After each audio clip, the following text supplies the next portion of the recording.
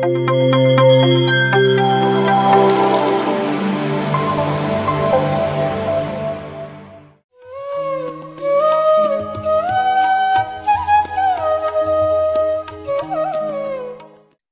ನಿಮಿಷ ಧ್ಯಾನ ಮಾಡೋಣ.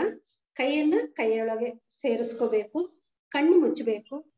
ಪಾದದ ಮೇಲೆ ಪಾದ ಹಾಕೋಬೇಕು ಚೇರ್ ಮೇಲೆ ಕೂತ್ಕೊಂಡವರು, ಕೆಳಗಡೆ ಕೂತ್ಕೊಂಡವರು ಪರವಾಗಿಲ್ಲ. ನಮ್ಮ ಶ್ವಾಸವನ್ನೇ ಗಮನಿಸ್ತಾ ಹೋಗ್ಬೇಕು. ಒಂದೆರಡು ನಿಮಿಷ ಬಿಟ್ಟು ಕಣ್ಣು ಮುಚ್ಚಿರಿ ಮಾಸ್ಟರ್ಸ್. ಮೇಡಮ್ ಸ್ವಲ್ಪ ವಾಲ್ಯೂಮ್ ಲೋ ಇದೆ ಮೇಡಮ್ ಹೌದಾ? ಹಾ. ನಮ್ಮ ನಿಧಾನವಾಗಿ ಕಣ್ಣುಗಳನ್ನ ಮುಚ್ಚುತ್ತಾ ನಮ್ಮ ಮನಸ್ಸನ್ನು ಆತ್ಮದ ಜೊತೆ ಕೇಂದ್ರೀಕರಿಸಬೇಕು. ನಮ್ಮ ಉಸಿರಿನ ಕಡೆನೆ ಗಮನ ಇಡಬೇಕು.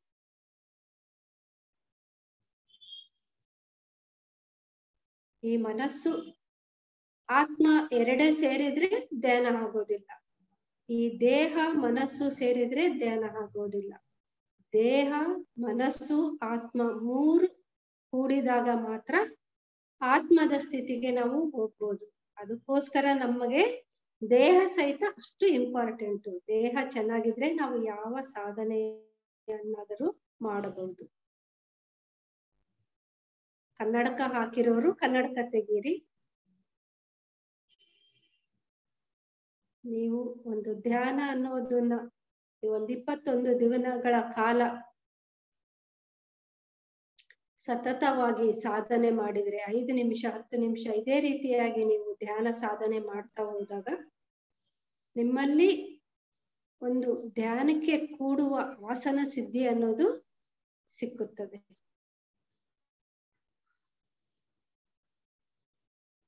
ಫಸ್ಟ್ಗೆನೆ ನಾವು ಒಂದು ಗಂಟೆ ಧ್ಯಾನಕ್ಕೆ ಕೂಡ್ಬೇಕಂದ್ರೆ ಸಾಧ್ಯ ಇಲ್ಲ.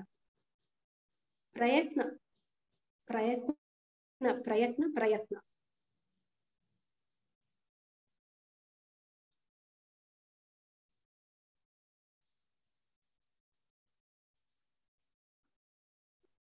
ನಮ್ಮ ಮನಸ್ಸಿನಲ್ಲಿ ಯಾವುದೇ ಆಲೋಚನೆ ಬಂದಾಗ ಆ ಆಲೋಚನೆಯನ್ನು ಪಕ್ಕಕ್ಕೆ ಇಟ್ಟು ಅದರ ಅದರ ಜಾಗದಲ್ಲಿ ಒಂದು ಸಕಾರಾತ್ಮಕ ಆಲೋಚನೆ ಇಡೋದ್ರಿಂದ ನಮ್ಮ ಮನಸ್ಸನ್ನು ಬದಲಾಯಿಸೋದಕ್ಕೆ ಸಾಧ್ಯ ಆಗುತ್ತೆ.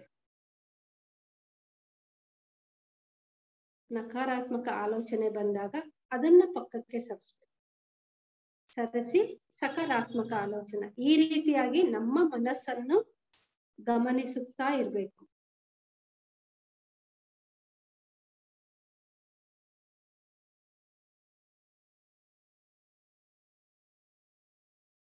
ಹುಣ್ಣಿಮೆ ದಿನ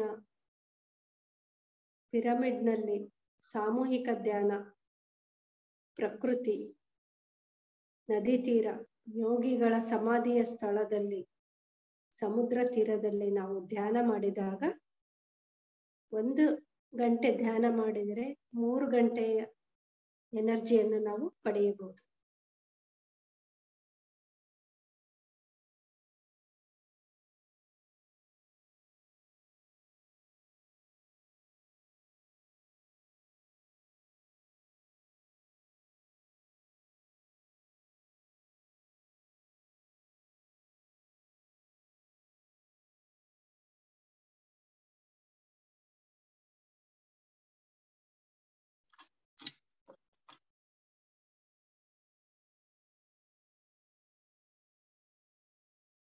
ಯಾವುದಾದ್ರೂ ಒಂದು ಮ್ಯೂಸಿಕ್ ಅನ್ನ ಇಟ್ಕೊಂಡು ಧ್ಯಾನ ಮಾಡ್ಬೋದು.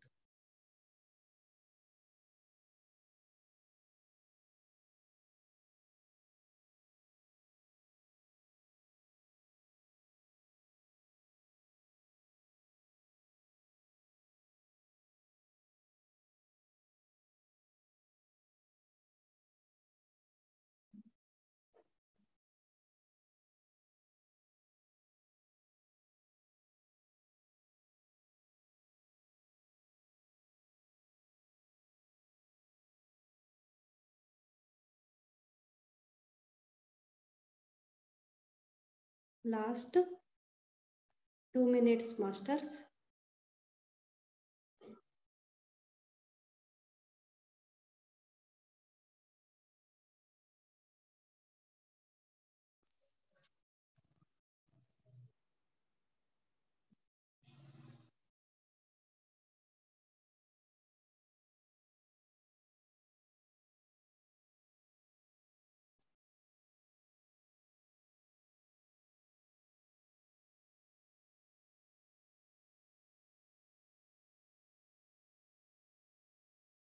last thirty seconds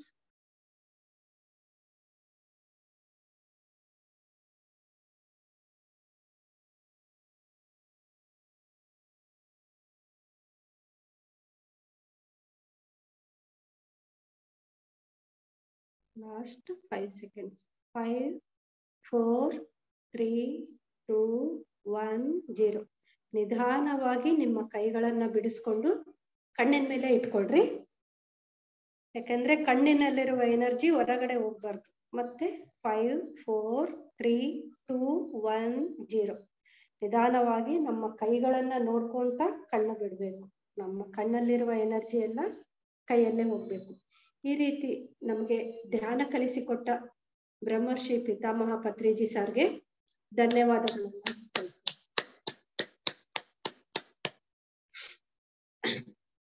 ಇದು ಜ್ಞಾನವೇ ಮೋಕ್ಷವು. ಈ ಒಂದು ಕಾರ್ಯಕ್ರಮದಲ್ಲಿ ಸ್ವಾಧ್ಯಾಯ ಮತ್ತೆ ಸಜ್ಜನ ಸಾಂಗತ್ಯದ ಬಗ್ಗೆ ಮಾತಾಡ್ಬೇಕು. ಈ ಸ್ವ ಅಧ್ಯಾಯ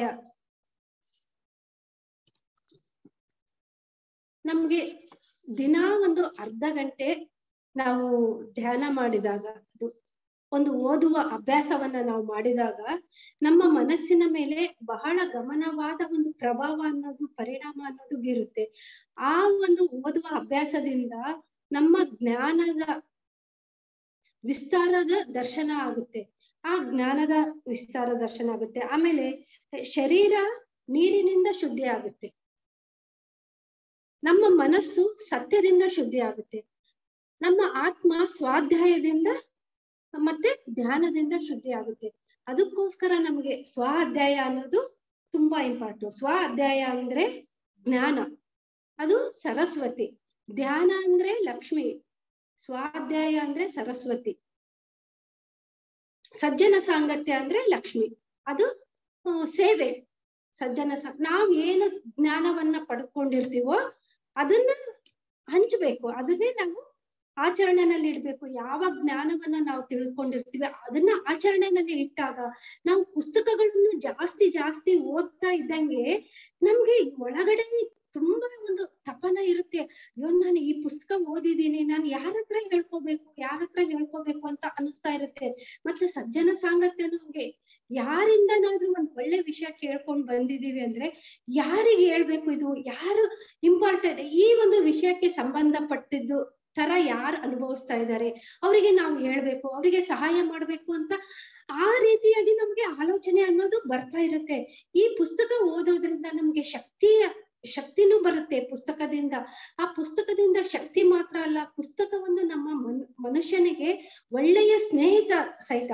ಆ ಒಳ್ಳೆ ಸ್ನೇಹಿತನು ಆಗುತ್ತೆ ಮತ್ತೆ ಪುಸ್ತಕದಿಂದ ಎಷ್ಟೋ ನಾವು ಪ್ರಯೋಜನವನ್ನ ಪಡಿಬಹುದು ಆ ಪ್ರಯೋಜನವನ್ನ ನಾವು ಪಡಿಬೇಕು ಅಂದ್ರೆ ಒಂದು ಸಾರಿ ನಾವು ಪುಸ್ತಕಗಳನ್ನ ಓದಿದ್ರೆಗಿನ ಅದು ಸ್ವಲ್ಪ ಅರ್ಥ ಆಗುತ್ತೆ ಆಗ್ಲಿ, ನಾವು ಅದನ್ನ ಮನನ ಮಾಡ್ಕೊಳೋದಾಗ್ಲಿ ನಾವು ಇನ್ನೊಬ್ರಿಗೆ ಹೇಳ್ಬೇಕು ಅಂತಂದ್ರೆ ಅದನ್ನ ಒಂದು ಹತ್ತು ಹದಿನೈದು ಸಾರಿನಾದ್ರೂ ಓದಿ ಅದನ್ನ ಸಂಪೂರ್ಣ ಅರ್ಥ ಮಾಡ್ಕೊಂಡಾಗ ನಮಗೂ ಅದನ್ನ ಆಚರಣೆಯಲ್ಲಿ ಇಡೋದಕ್ಕೂ ಸಾಧ್ಯ ಆಗುತ್ತೆ. ನಮ್ಗೆ ಇನ್ನೊಬ್ರಿಗೆ ಹೇಳೋದಕ್ಕೂ ನಮ್ಗೆ ಸಾಧ್ಯ ಆಗುತ್ತೆ. ಈ ರೀತಿಯಾಗಿ ಯೋಗಿಗಳೆಲ್ಲ ಒಂದು ಹತ್ತತ್ತು ಸಾರಿ, ಹದಿನೈದು ಸಾರಿ ಅವರು ಪುಸ್ತಕಗಳನ್ನ ಓದ್ತಾ ಇರ್ತಾರೆ. ಮತ್ತೆ ಮನುಷ್ಯರು ನಾವು ಪುಸ್ತಕ ಯಾಕೆ ಓದ್ತಾ ಇದ್ದೀವಿ ಅಂತಂದ್ರೆಗಿನ ನಮಗೆ ಎಲ್ಲಾ ಮನುಷ್ಯರಲ್ಲಿ ಎಷ್ಟೋ ಪ್ರಾಬ್ಲಮ್ಗಳು ಅನ್ನೋದು ಇರುತ್ತೆ. ಆ ಪ್ರಾಬ್ಲಮ್ಗಳು ಎಲ್ಲ ನಾವು ಯಾವ ರೀತಿ ಸಾಲ್ವ್ ಮಾಡ್ಕೋಬೇಕು? ಒಂದಂತೂ ತೀರಾ ಪರ್ಸನಲ್ ಆಗಿ ಇರೋ ಪ್ರಾಬ್ಲಮ್ಸ್ ಇರುತ್ತೆ. ಅದನ್ನ ಯಾರ ಹತ್ರಗಾದ್ರೂ ನಾವು ಸಾಲ್ವ್ ಮಾಡ್ಕೊಳಕ್ಕೆ ಅಂತ ಹೋದ್ರೆಗಿನ ನಮ್ಮ ಒಳಗಿನ ವಿಷಯಗಳನ್ನೆಲ್ಲ ಅವ್ರಿಗೆ ಹೇಳ್ಕೊಟ್ಟಂಗಾಗುತ್ತೆ. ಅವ್ರು ಏನ್ ಮಾಡ್ತಾರ? ಅವರು ನಮ್ಮ ಪ್ರಾಬ್ಲಮ್ ಅಷ್ಟೇ ಸಾಲ್ವ್ ಮಾಡೋದಿಲ್ಲ. ಅವಾಗ ನಮ್ಮಲ್ಲಿ ಇರುವ ಒಂದು ವೀಕ್ನೆಸ್ ಅನ್ನ ಹಿಡಿತಾರ? ಮತ್ತೆ ಅಯ್ಯೋ, ಅವ್ರಿಗೆ ಆ ರೀತಿ ಆಗಿದೆ, ಅವರಲ್ಲಿ ಈ ರೀತಿ ಪ್ರಾಬ್ಲಮ್ಸ್ ಎಲ್ಲ ಇದೆ ಅಂತ ಎಲ್ಲರಿಗೂ ಪ್ರಚಾರ ಮಾಡ್ಕೊಂಡ್ ಬರ್ತಾರ? ಅದಕ್ಕೋಸ್ಕರ ನಾವು ನಮಗೆ ಏನಾದ್ರೂ ಒಂದು ಪ್ರಾಬ್ಲಮ್ ಇದ್ದಾಗ ಒಳ್ಳೆಯ ವ್ಯಕ್ತಿ ಜೊತೆ ಒಂದು ಶೇರ್ ಮಾಡ್ಕೋಬೇಕು. ಇಲ್ಲಾಂದ್ರೆ ಒಂದು ಒಳ್ಳೊಳ್ಳೆ ಪುಸ್ತಕಗಳನ್ನ ಓದೋದಕ್ಕೆ ಶುರು ಮಾಡ್ಬೇಕು. ಆ ಪುಸ್ತಕಗಳನ್ನ ಓದಿದಾಗ ಇವಾಗ ನಮ್ಮಲ್ಲಿ ನಮ್ಮಲ್ಲಿ ಇರುವ ಯಾವುದೇ ಪ್ರಾಬ್ಲಮ್ ಆಗ್ಲಿ, ನಮಗೊಂದೇ ಇರೋದಲ್ಲ. ಹಿಂದಿನ ಇಂದಿನ ಕಾಲದಿಂದನೂ ಎಲ್ಲರಿಗೂ ಆ ರೀತಿಯಾದ ಪ್ರಾಬ್ಲಮ್ಗಳು ಇದ್ದೇ ಇತ್ತು. ಅದಕ್ಕೋಸ್ಕರ ಆ ಪ್ರಾಬ್ಲಮ್ಗಳನ್ನ ಅವ್ರು ಯಾವ ರೀತಿ ಅನುಭವಿಸಿದ್ರು, ಅವ್ರು ಯಾವ ರೀತಿ ಅದನ್ನ ಪರಿಹಾರ ಮಾಡ್ಕೊಂಡ್ರು ಅನ್ನೋದು ಎಲ್ಲಾ ಸಮಸ್ಯೆಗಳಿಗೂ ಪರಿಹಾರ ಆ ಪುಸ್ತಕದಲ್ಲಿ ಇರುತ್ತೆ. ಅದಕ್ಕೋಸ್ಕರ ಒಳ್ಳೊಳ್ಳೆ ಪುಸ್ತಕಗಳನ್ನ ಓದ್ತಾ ಇರ್ಬೇಕು. ನನಗೆ ಮದುವೆ ಆಗಿ ಇಬ್ರು ಮಕ್ಕಳಾದ್ಮೇಲೆ ನನ್ಗೆ ಸ್ವಲ್ಪ ಕಣ್ಣಿನ ತೊಂದರೆ ಬಂತು. ಆ ಕಣ್ಣಿನ ತೊಂದರೆ ಬಂದಾಗ ನನ್ಗೆ ತುಂಬಾ ಬೇಜಾರಾಯ್ತು.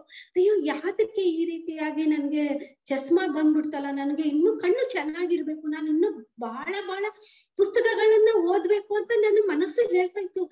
ನಾನು ಇನ್ನು ಅವಾಗ ಧ್ಯಾನಕ್ಕೆ ಬಂದಿಲ್ಲ. ನನ್ಗೆ ಸಣ್ಣಕ್ಕೆ ಇರುವಾಗ್ನಿಂದಾನು ಎಷ್ಟು ಈ ಟೆಂತ್ ಮುಗ ಮೇಲೆ ನಾವು ಕಾಲೇಜಿಗೆ ಹೋಗಿಲ್ಲ. ಅವಾಗ ಮನೇಲಿ ಕುತ್ಕೊಂಡು ಏನು ಮಾಡಕ್ ಆಗಲ್ಲ ನಾವು ಎಲ್ಲ ಒಂದು ಲೈಬ್ರರಿಗಳಿಗೆಲ್ಲ ಮೆಂಬರ್ಶಿಪ್ ಆಗಿ ಎಲ್ಲ ಕಾದಂಬರಿಗಳನ್ನ ಓದ್ತಾ ಇದ್ವಿ. ಆದ್ರೆ ನಮ್ಗೆ ಅವಾಗ ಅಷ್ಟು ತೃಪ್ತಿ ಅನ್ನೋದು ಸಿಗ್ತಾ ಇರ್ಲಿಲ್ಲ. ನಾನು ಈ ಪುಸ್ತಕ ಅಲ್ಲ ಓದೋದು, ಬೇರೆ ಪುಸ್ತಕಗಳನ್ನ ಓದ್ಬೇಕು, ರಾಮಾಯಣ ಓದ್ಬೇಕು, ಮಹಾಭಾರತ. ನಮಗೆ ಅವಾಗ ಗೊತ್ತಿದ್ದು ಅಷ್ಟೇ ಗ್ರಂಥಗಳು. ನಮಗೆ ಇವಾಗ ಈ ಒಂದು ಆಧ್ಯಾತ್ಮಿಕ ಗ್ರಂಥಗಳು ಇಷ್ಟು ಇದಾವೆ ಅನ್ನೋದು ಗೊತ್ತಾಗಿದ್ದು ನಮ್ಗೆ ಧ್ಯಾನಕ್ಕೆ ಬಂದ ಮೇಲೆ ನಾವು ಪುಸ್ತಕಗಳನ್ನ ಓದೋದಕ್ಕೆ ಶುರು ಮಾಡಿದ್ಮೇಲೆ ನನ್ಗೆ ಇದು ಗೊತ್ತಾಗಿದ್ದು ಇಷ್ಟು ಪುಸ್ತಕದಲ್ಲಿ ಇಷ್ಟು ಜ್ಞಾನ ಇದೆ ಅಂತ. ಅವಾಗ ನನ್ಗೆ ಈ ಕನ್ನಡಕ ಬಂದಾಗ ತುಂಬಾ ಬೇಜಾರಾಯ್ತು. ಅಯ್ಯೋ, ನನ್ಗೆ ಕಣ್ಣು ಚೆನ್ನಾಗಿರ್ಬೇಕು. ನಾನು ಇನ್ನು ಮುಂದೆ ಪುಸ್ತಕಗಳೆಲ್ಲ ಬಹಳ ಓದೋವಿದೆ ಅಂತ ನನ್ಗೆ ಅವಾಗ ಅನಿಸ್ತಾ ಇತ್ತು. ಆಮೇಲೆ ನಾನು ಒಂದು ಸ್ಕೂಲಿಗೆ ಹೋದೆ. ನನ್ ಮದ್ವೆ ಆಯ್ತು.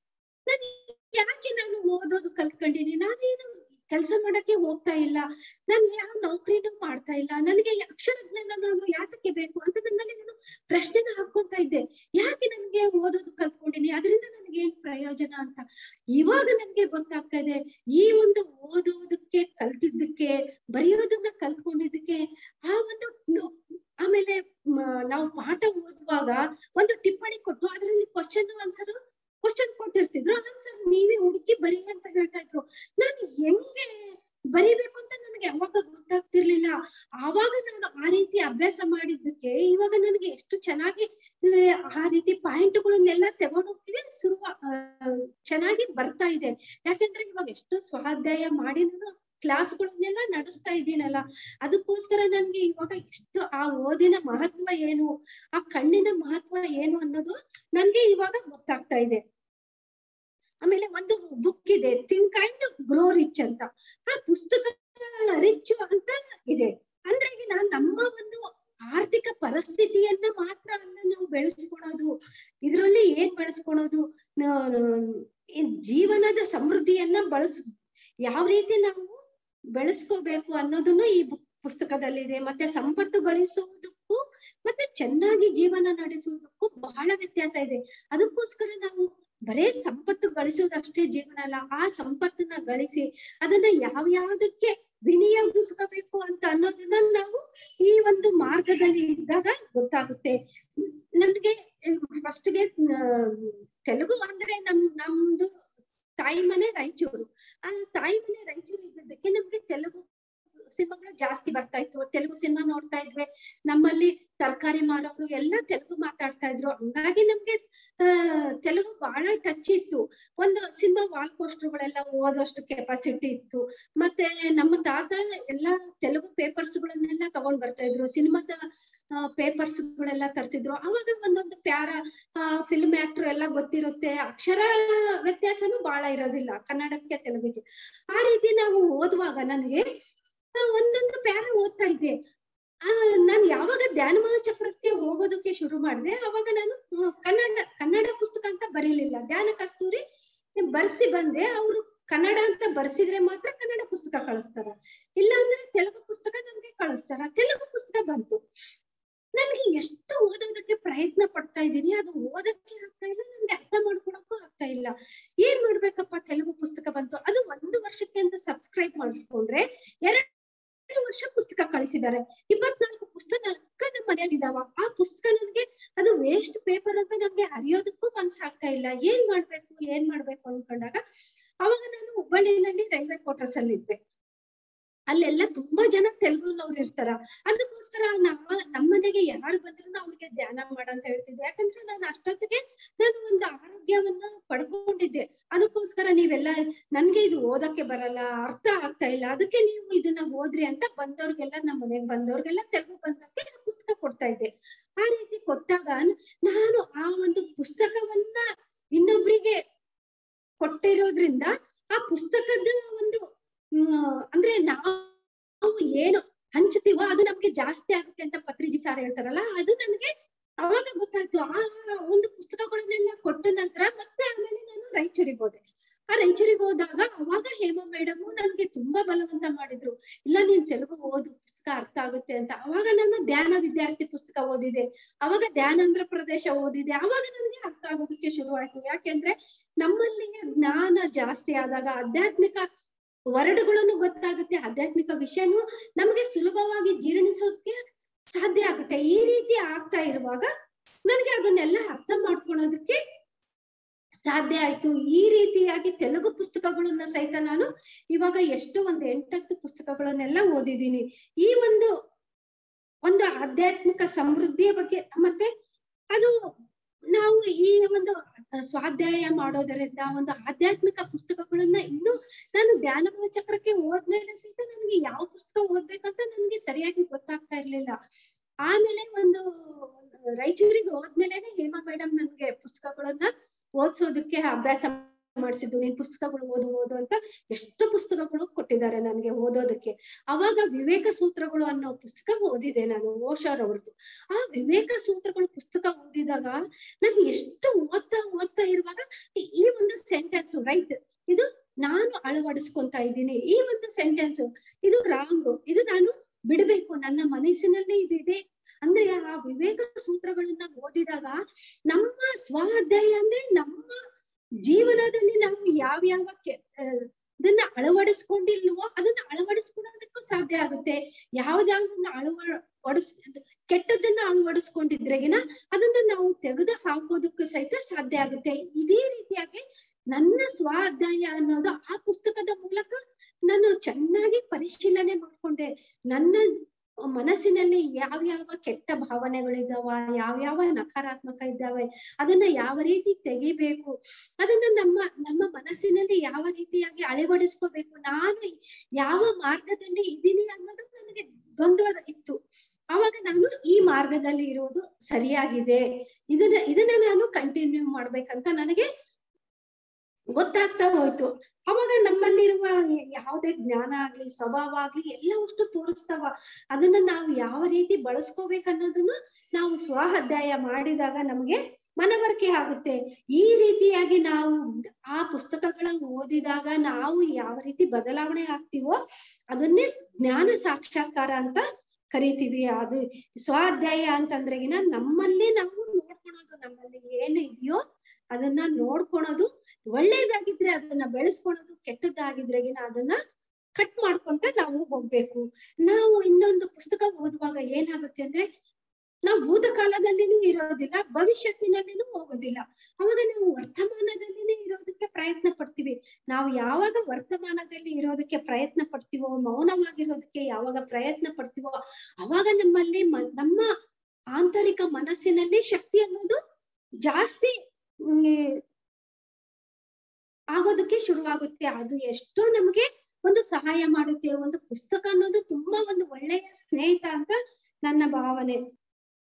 ಮತ್ತೆ ಇನ್ನ ಯಾರಾದ್ರೂ ಪುಸ್ತಕಗಳನ್ನ ಪ್ರಿಂಟ್ ಹಾಕ್ಸಿರ್ತಾರ ಒಂದು ಕನ್ನಡ ತೆಲುಗುನಿಂದ ಕನ್ನಡಕ ಟ್ರಾನ್ಸ್ಲೇಷನ್ ಮಾಡ್ತಾರ, ಅವರೆಲ್ಲ ಪ್ರಿಂಟ್ ಹಾಕಿಸ್ತಾರ.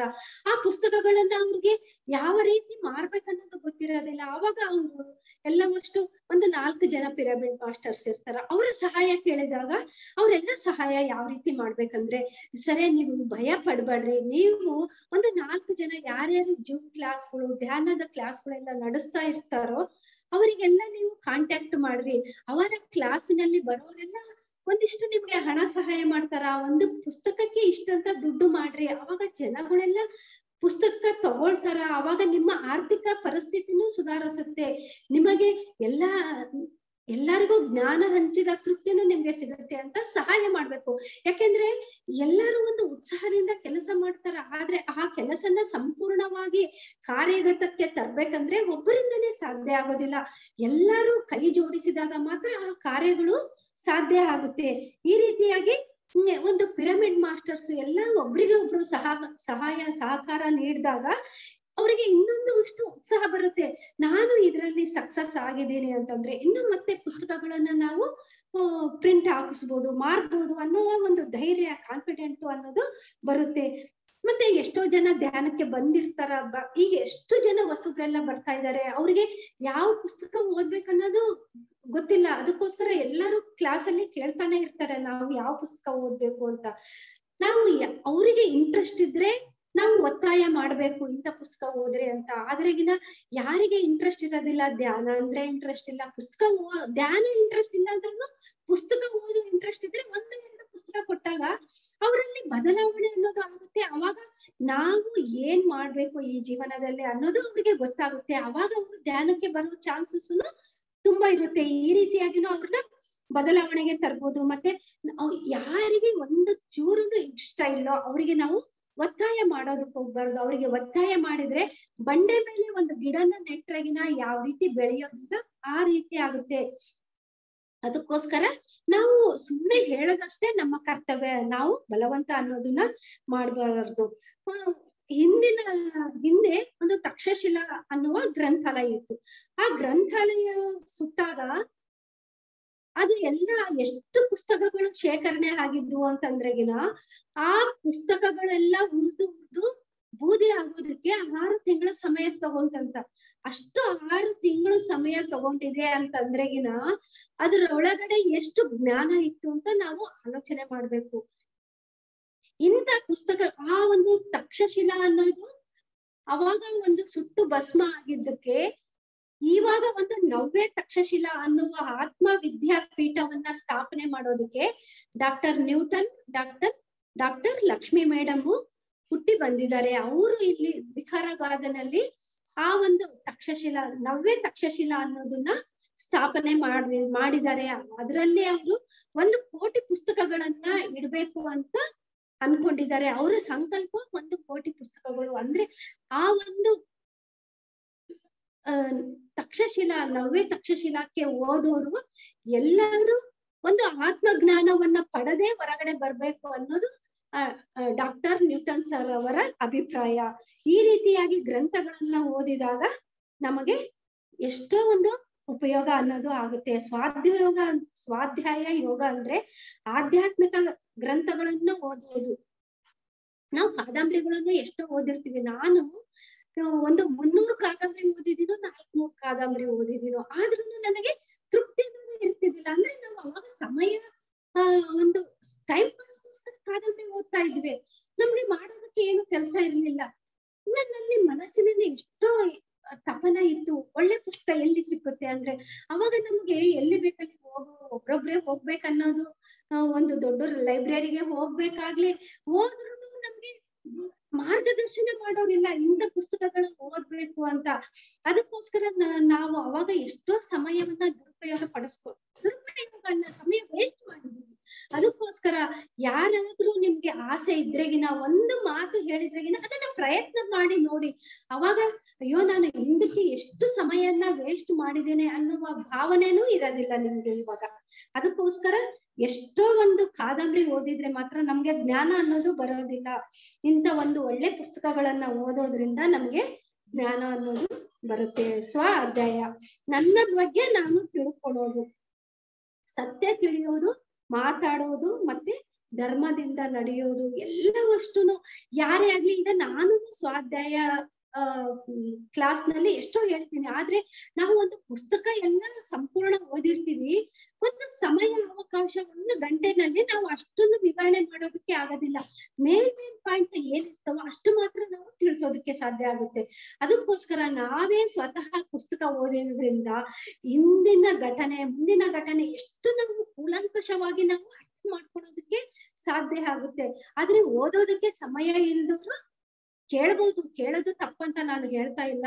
ಕೇಳೋದನ್ನು ಸರಿಯಾದ ಮಾರ್ಗನೇ. ಆದ್ರೆ ಅದನ್ನ ನಾವು ಸ್ವತಃ ಓದಿದಾಗ ನಮಗೆ ಇನ್ನುವಷ್ಟು ಜ್ಞಾನ ಅನ್ನೋದು ಜಾಸ್ತಿ ಸಿಕ್ಕುತ್ತೆ. ಅವಾಗ ಆ ಮಾಸ್ಟರ್ಸ್ ಜೊತೆಗೆ ನಾವು ಕನೆಕ್ಟ್ ಆಗ್ತೀವಿ. ಆ ಓದುವಾಗ ಎಷ್ಟೋ ಎನರ್ಜಿ ಅನ್ನೋದು ನಮಗೆ ಬರ್ತಾ ಇರುತ್ತೆ. ಈ ರೀತಿಯಾಗಿ ನಾನು ಎಷ್ಟು ಪುಸ್ತಕಗಳನ್ನೆಲ್ಲ ಓದಿದ್ದೀನಿ, ಆ ಪುಸ್ತಕಗಳೆಲ್ಲ ಯಾವ್ಯಾವು ಅಂತ ನಾನು ಹೇಳ್ತೀನಿ. ಸ್ವಾಮಿ ರಾಮ ಅನ್ನುವ ಪುಸ್ತಕ. ಆ ಸ್ವಾಮಿ ರಾಮ ಅನ್ನೋ ಪುಸ್ತಕದಲ್ಲಿ ಏನ್ ಪಾಯಿಂಟ್ ಕಲಿತೀವಿ ಅಂದ್ರೆ, ಆ ಸ್ವಾಮಿ ರಾಮ ಹುಟ್ಟೋದಕ್ಕೆ ಮುಂಚೆನೆ ಅವ್ರ ತಾಯಿ ಗರ್ಭದಲ್ಲಿ ಇದ್ದಾಗ ಸ್ವಾಮಿ ರಾಮನ ಗುರುಗಳು ಬಂದು ಅವರು ತಾಯಿನ ಬೇಟೆಯಾಗಿ, ನಿನ್ನ ಹೊಟ್ಟೆಯಲ್ಲಿರುವ ಮಗ ಒಂದು ದೊಡ್ಡ ಯೋಗಿ ಆಗ್ತಾನೆ ಅಂತ ಬಂದು ಹೇಳಿದ್ರಂತ. ಹೇಳಿ ಹೋಗಿದ್ದಾರೆ ಅವರು. ಆಮೇಲೆ ಅವರು ಹುಟ್ಟಿದಾಗ ಆರು ವರ್ಷಕ್ಕೆ ಅವರು ತಂದೆ ತಾಯಿನ ಕಳ್ಕೊಂಡ್ರಂತ. ಆ ತಂದೆ ತಾಯಿನ ಕಳ್ಕೊಂಡಾಗ ಆತನ ಜೋಪಾನ ಮಾಡೋರು ಯಾರು ಇರ್ಲಿಲ್ಲ ಅಂತ. ಅದಕ್ಕೆ ಯಾವ ಗುರುಗಳು ಬಂದು ಹೇಳಿದ್ರೋ ಅದೇ ಗುರುಗಳು ಬಂದು ಮತ್ತೆ ಸ್ವಾಮಿ ರಾಮನ್ನ ಕರ್ಕೊಂಡೋಗಿ ತಾವು ಹಿಮಾಲಯದಲ್ಲಿ ಆತನ್ನ ಸಾಕಿ, ಯಾವ ತಂದೆ ತಾಯಿಗಳು ತಮ್ಮ ಮಕ್ಕಳನ್ನ ಸಾಕ್ತಾರೋ ಅದೇ ರೀತಿಯಾಗಿ ಸಾಕಿ ಅವರನ್ನ ಬೆಳೆಸಿ ಒಂದು ಆಧ್ಯಾತ್ಮಿಕ ಮಾರ್ಗದಲ್ಲಿ ಒಂದು ಎಲ್ಲಾ ಗುರುಗಳ ಜೊತೆಗೂ ಸಂಪರ್ಕ ಬೆಳೆಸೋದಕ್ಕೆ ಇಡ್ತಾ ಇದ್ರು. ಎಲ್ಲಾ ಗುರುಗಳನ್ನ ಭೇಟಿ ಮಾಡೋದಕ್ಕೆ ಅವಕಾಶ ಮಾಡಿ ಕೊಡ್ತಾ ಇದ್ರು. ಮತ್ತೆ ಕಾಲೇಜಿಗೆ ಕಳಿಸ್ತಾ ಇದ್ರು. ಅಥವಾ ಎಷ್ಟು ಆ ಗುರುಗಳ ಜೊತೆ ಇರ್ತಿದ್ನ ಅಂತಂದ್ರೆ ಎಷ್ಟು ಆಟ ಮಾಡ್ತಿದ್ದ? ತಂದೆ ತಾಯಿ ಜೊತೆ ಹೆಚ್ಚಿಗೆ ಆಟ ಮಾಡ್ತಿದ್ದ. ಇಲ್ಲ ಗುರುಗಳೇ ನಾನು ನಾನ್ ಕಾಲೇಜಿಗೆ ಹೋಗೋದಿಲ್ಲ, ನಾನು ಇಲ್ಲಿ ಧ್ಯಾನ ಮಾಡ್ಕೊಂತ ನಾನು ತುಂಬಾ ಚೆನ್ನಾಗಿದ್ದೀನಿ, ನಾನು ಕಾಲೇಜಿಗೆ ಹೋಗಲ್ಲ, ನಾನು ಅಲ್ಲಿ ಊಟ ಚೆನ್ನಾಗಿದ್ರೆ ಮಾತ್ರ ನಾನು ಇರ್ತೀನಿ, ಊಟ ಚೆನ್ನಾಗಿಲ್ಲ ಅಂದ್ರೆ ಇರಲ್ಲ, ನನ್ಗೆ ಇಂಥದ್ದೇ ವಾಚ್ ಬೇಕು ಅಂತ ಹೇಳ್ತಿದ್ದ. ಅದಕ್ಕೆಲ್ಲ ಅವ್ರು ಪಾಪ ನಗ್ತಾ ನಗ್ತಾ ಆತನ ಆಸೆಗಳನ್ನೆಲ್ಲ ಪೂರೈಸ್ಕೊಂತ ಆತನ ಕಾಲೇಜಿಗೆ ಕಳಿಸ್ತಾ ಇದ್ರು. ಯಾಕೆ ಅಂದ್ರೆ ನೀನು ಪರಿಪೂರ್ಣ ಆತ್ಮ ಅಪ್ಪ, ನೀನು ಇನ್ನ ಮುಂದೆ ಬೇರೆ ದೇಶಗಳಿಗೆಲ್ಲ ಹೋಗಿ ಜ್ಞಾನವನ್ನ ಹಂಚಬೇಕು. ಅದಕ್ಕೋಸ್ಕರ ನಿನಗೆ ಒಂದು ಇಂಗ್ಲಿಷ್ ಅನ್ನುವ ವಿದ್ಯೆ ಅನ್ನೋದು ಬರ್ಬೇಕು, ಕಾಲೇಜಿಗೆ ಹೋಗ್ಬೇಕು, ಆ ಜ್ಞಾನ ಸಂಪಾದನೆ ಮಾಡಿದ್ರೆ ನಿನ್ನೊಳಗಿರುವ ಜ್ಞಾನವನ್ನ ಹಂಚೋದಕ್ಕೆ ಸಾಧ್ಯ ಆಗುತ್ತೆ ಅಂತ. ಅವಾಗ ಸ್ವಾತಂತ್ರ್ಯ ಹೋರಾಟ ನಡೀತಾ ಇತ್ತು. ಆತ ಯಾವಾಗ್ಲೂ ನಾನು ಅವರೆಲ್ಲ ಸ್ವಾತಂತ್ರ್ಯ ಹೋರಾಟಕ್ಕೆ ಹೋರಾಡ್ತಾ ಇದ್ದಾರೆ ನಾನು ಅಲ್ಲಿಗೆ ಹೋಗ್ತೀನಿ ಅಂತ ಹೇಳ್ತಾ ಇದ್ದ. ಅವಾಗ ಹೇಳ್ತಾ ಇದ್ರು, ನಿನ್ನದು ಅದು ಕೆಲಸ ಅಲ್ಲ. ಆ ಕೆಲಸ ಮಾಡೋಕೆ ಬೇಕಾದಷ್ಟು ಜನ ಇದಾರ. ನೀನ್ ಮಾಡೋದು ಒಂದು ಜ್ಞಾನ ಹಂಚೋದಕ್ಕೆ ನೀನು ಈ ಭೂಮಿ ಮೇಲೆ ಬಂದಿದೀಯಾ ಅದಕ್ಕೋಸ್ಕರ ಜ್ಞಾನ ಹಂಚು ಅಂತ. ನಾವ್ ಅದನ್ನೇ ಹೇಳ್ಕೊಂತ ಕೂತ್ರೆ ನಮ್ಗೆ ಸಮಯ ಸಾಕಾಗಲ್ಲ. ಅದಕ್ಕೆ ಮೇನ್ ಮೇನ್ ಪಾಯಿಂಟ್ ಅಷ್ಟೇ ಹೇಳ್ತೀನಿ. ಒಂದು ಫೆರಾರಿ ಮಾರಿದ ಫಕೀರ. ಅದು ಒಂದು ಎಷ್ಟು ದೊಡ್ಡ ಮುನ್ನೂರು ಮಿಲಿಯನ್ ಡಾಲರ್ ಅಷ್ಟು ಬ್ಯಾಂಕ್ನಲ್ಲಿ ಅಕೌಂಟ್ನಲ್ಲಿ ದುಡ್ಡು ಇಟ್ಕೊಂಡಿರ್ತಾನ. ಜೆಟ್ ವಿಮಾನ ಸ್ವಂತದ್ದಿರುತ್ತೆ. ಫೆರಾರಿ ಕಾರನ್ನ ಇಟ್ಕೊಂಡಿರ್ತಾನ, ಒಂದು ದ್ವೀಪದ ಹತ್ರ ಒಂದು ಮನೆಯನ್ನ ಇಟ್ಕೊಂಡಿರ್ತಾನ, ಅಷ್ಟು ಒಂದು ವೈಭೋಗದಿಂದ ಜೀವನ ನಡೆಸುವ ಆತ ಹೃದಯಘಾತ ಆಗಿದ್ದಕ್ಕೆ ಆತ, ಆ, ತನ್ನ ಜೀವನದ ಕ್ರಮವನ್ನೇ ಬದಲಾಯಿಸ್ತಾನ. ಯಾಕೆಂದ್ರೆ ಏನು ಊಟ ಮಾಡ್ಬೇಡ ಅಂತ ಡಾಕ್ಟರ್ ಹೇಳ್ತಾರ, ವೃತ್ತಿ ಬಿಡಬೇಕು, ಇಲ್ಲಾಂದ್ರೆ ನಿನ್ನ ಪ್ರಾಣಕ್ಕೆ ಆಪತ್ತು ಅಂದಾಗ ಅವಾಗ ಇಂಡಿಯಾಕ್ಕೆ ಬಂದು ಯೋಗಿಗಳನ್ನೆಲ್ಲ ಭೇಟಿಯಾಗಿ ಧ್ಯಾನ ಸಾಧನೆಯಿಂದ ಒಂದು ದೊಡ್ಡ ಯೋಗಿ ಆಗ್ತಾನ. ಅದೇ ಫೆರಾರಿ ಕಾರನ್ನ ಮಾರಿದ ಫಕೀರ ಅಂತ ಈ ಧ್ಯಾನ ಕಸ್ತೂರಿಗಳನ್ನ ಎಷ್ಟೋ ಓದಿದ್ದೀನಿ, ಭಗವದ್ಗೀತೆ ಓದಿದ್ದೀನಿ. ಆ ಭಗವದ್ಗೀತೆ ಓದಿದಾಗ ನಮಗೆ ಫಸ್ಟಿಗೆ ಏನು ಅರ್ಥ ಆಗೋದಿಲ್ಲ. ಓದ್ಬೇಕು, ಆ ಶ್ಲೋಕಗಳನ್ನ ಓದ್ಬೇಕು, ಅದರ ಅರ್ಥಗಳನ್ನ ಓದ್ಬೇಕು. ಓದ್ತಾ ಓದ್ತಾ ಇದ್ದಂಗೆ ಅದು ಒಂದು ನಾಲ್ಕ್ ಸಾರಿ, ಐದು ಸಾರಿ ಓದಿದ್ಮೇಲೆ ಅದು ಅರ್ಥ ಆಗೋದಕ್ಕೆ ಶುರು ಆಗುತ್ತೆ ಯಾಕೆಂದ್ರೆ ಸಾಮಾನ್ಯವಾದ ಮನುಷ್ಯರಿಗೆ ಅದರಲ್ಲಿರುವ ಅರ್ಥ ಆಗೋದಿಲ್ಲ. ಆಮೇಲೆ ಮಹಾತ್ಮ ಗಾಂಧಿ ಹೇಳ್ತಾ ಇದ್ರಂತೆ ನಿಮಗೆ ಏನಾದ್ರೂ ಸಮಸ್ಯೆ ಇದೆ ಅಂತ ಅಂದಾಗ ಆ ಭಗವದ್ಗೀತೆ ಸುಮ್ನೆ ನೀವು ಪೇಜ್ ತೆಗೆದ್ ಬಿಡ್ರಿ. ಆ ಒಂದು ಶ್ಲೋಕನ ಓದಿ ಅದರ ಅರ್ಥ ಓದಿದಾಗ ನಿಮ್ಮ ಪ್ರಾಬ್ಲಮ್ಗೆ ಸೊಲ್ಯೂಷನ್ ಅನ್ನೋದು ಸಿಕ್ಕುತ್ತೆ ಅಂತ ಅವಾಗ ಮಹಾತ್ಮ ಗಾಂಧಿ ಹೇಳ್ತಾ ಇದ್ರಂತ. ಶ್ವಾಸ ವಿಜ್ಞಾನ ಜ್ಯೋತಿ ಓದಿದ್ದೀನಿ. ಪರಮಾಂಸ ಯೋಗಾನಂದ ಒಂದು ಯೋಗಿಯ ಆತ್ಮಕಥೆಯನ್ನು ಓದಿದ್ದೀನಿ. ಅದರಲ್ಲಿ ಎಷ್ಟು ಮಹಾವತರ್ ಬಾಬಾನ್ ಬಗ್ಗೆ ಎಲ್ಲ ಹೇಳಿದ್ದಾರೆ. ಒಂದು ಯೋಗಿಯನ್ನ ಮೂರು ಕಡೆ ದರ್ಶನ ಮಾಡಿರ್ತಾರ ಇವರು. ಪರಮಾಂಸ ಯೋಗಾನಂದ. ಈ ರೀತಿಯಾಗಿ ಎಲ್ಲ ಎಷ್ಟು ಆ ಒಂದು ಪುಸ್ತಕ ಓದಿಬಿಟ್ರೆ ನಿಮ್ಮ ಜೀವನದ ಧ್ಯೇಯನೇ ಬದಲಾವಣೆ ಆಗುತ್ತೆ. ಹಿಮಾಲಯದ ಗುರುವಿನ ಗರಡಿಯಲ್ಲಿ. ಆತ ಒಂದು ಧ್ಯಾನ ಸಾಧನೆ ಅನ್ನೋದು ಅರ್ಧಕ್ಕೆ ಬಿಟ್ಕೊಂಡು ಹೋಗಿರ್ತಾನೆ ಇಂದಿನ ಜನ್ಮದಲ್ಲಿ. ಈ ಈ ಜನ್ಮದಲ್ಲಿ ಆತ ಏಳು ವರ್ಷ ಇದ್ದಾಗ, ಎಂಟು ವರ್ಷ ಇದ್ದಾಗಿನಿಂದಾನೇ ಅವ್ರ ಗುರುಗಳು ಬಂದು ಆತನ ಎಚ್ಚರಿಸ್ತಾ ಇರ್ತಾರೆ. ನೀನು ಈ- ಮಾರ್ಗ ಅಲ್ಲ ನೀನು ಅನುಸರಿಸ್ಬೇಕಾಗಿರೋದು. ನೀನು ಹಿಮಾಲಯಕ್ಕೆ ಹೋಗಿ ನಿನ್ನ ಸಾಧನೆಯನ್ನ ಮುಂದುವರಿಸು. ನೀನು ಅರ್ಧಕ್ಕೆ ಬಿಟ್ಟಿರುವ ಒಂದು ಸಾಧನೆಯನ್ನ ಮುಂದುವರಿಸು ಅಂತ ಈ ರೀತಿಯಾಗಿ ಆತಂಗೆ ಹೇಳ್ತಾ ಇರ್ತಾರೆ. ಆತ್ಮಾಯಣ, ಮೂರ್ಖನ ಮಾತುಗಳು, ಗಗನ, ಗೋಚರಿ, ವಸುಂಧರ. ಈ ಮೂರ್ಖನ ಮಾತುಗಳಲ್ಲಿನೂ ಎಷ್ಟೋ ವರ ಇದು ಇದೆ. ತಾಯಿ ಅಂದ್ರೆ ಏನು?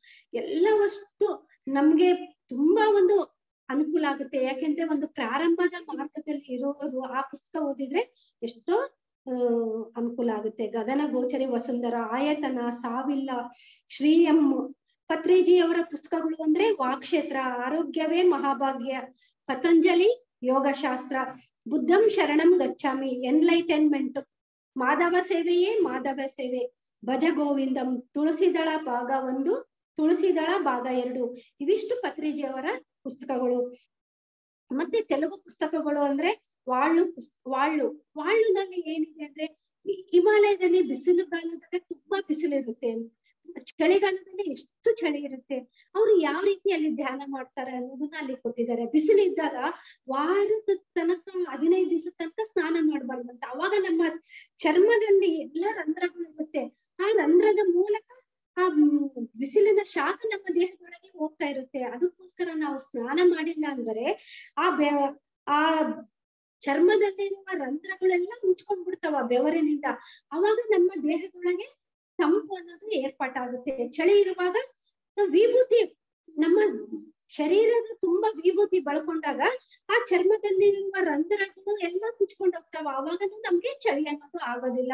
ಈ ರೀತಿಯಾಗಿ ನಾವು ಧ್ಯಾನ ಸಾಧನೆಯನ್ನು ಹಿಮಾಲಯದಲ್ಲಿ ಮಾಡ್ಕೋಬಹುದು ಅನ್ನೋ ಅಂಶ ಅದರಲ್ಲಿ ಕೊಟ್ಟಿದ್ದಾರೆ. ಸೀತಾಯಣ ಕೊ- ಓ- ಓದಿದೀನಿ ಸೀತಾಯಣ ಓದಿ ಮತ್ತೆ ನಾನು ಪಿರಮಿಡ್ ಕಾಲ್ ಸರ್ವಿಸ್ ಬೆಂಗಳೂರಲ್ಲಿ ಅದರ, ಕ್ಲಾಸ್ಗಳನ್ನ ತಗೊಂಡಿದ್ದೀನಿ. ಒಂದು ಹದಿನಾಲ್ಕು ಎಪಿಸೋಡ್ ಇದೆ. ಅದನ್ನು ತುಂಬಾ ಚೆನ್ನಾಗಿದೆ. ಜೀವಾತ್ಮ ಪ್ರಪಂಚ ನಿಯಮಲು ನಿಯಮಾಲು ಅದನ್ನ ಓದಿದಾಗ ನಾವು ಈ ಒಂದು ಭೂಮಿ ಮೇಲೆ ಯಾತಕ್ಕೆ ಹುಟ್ಟಿದೀವಿ, ಇಲ್ಲಿ ನಮ್ಮ ಕೆಲಸ ಕಾರ್ಯಗಳು ಏನು ಅನ್ನೋದು ನಮ್ಗೆ ಸಂಪೂರ್ಣ ಗೊತ್ತಾಗುತ್ತೆ ಯಾವ ರೀತಿಯಾಗಿ ಜೀವನ ಮಾಡ್ಬೇಕು, ಇನ್ನೊಬ್ರಿಗೆ ತೊಂದರೆ ಕೊಡ್ಬಾರ್ದು, ಇನ್ನೊಬ್ರಿಗೆ ತೊಂದರೆ ಕೊಟ್ರೆ ಮತ್ತೆ ಅದರಿಂದ ನಾವೇ ಅನುಭವಿಸ್ತೀವಿ ಅಂತ. ಫಕೀರ, ಧ್ಯಾನ ವಿದ್ಯಾರ್ಥಿ, ಪುನರುಜ್ಜೀವನ, ಮತ್ತೆ ಧ್ಯಾನಾಂಧ್ರ ಪ್ರದೇಶ, ಇಷ್ಟು ಸ್ವಾಧ್ಯಾಯದ ಬಗ್ಗೆ ಹೇಳಿದೆ. ಇನ್ನು ಸಜ್ಜನ ಸಾಂಗತ್ಯ.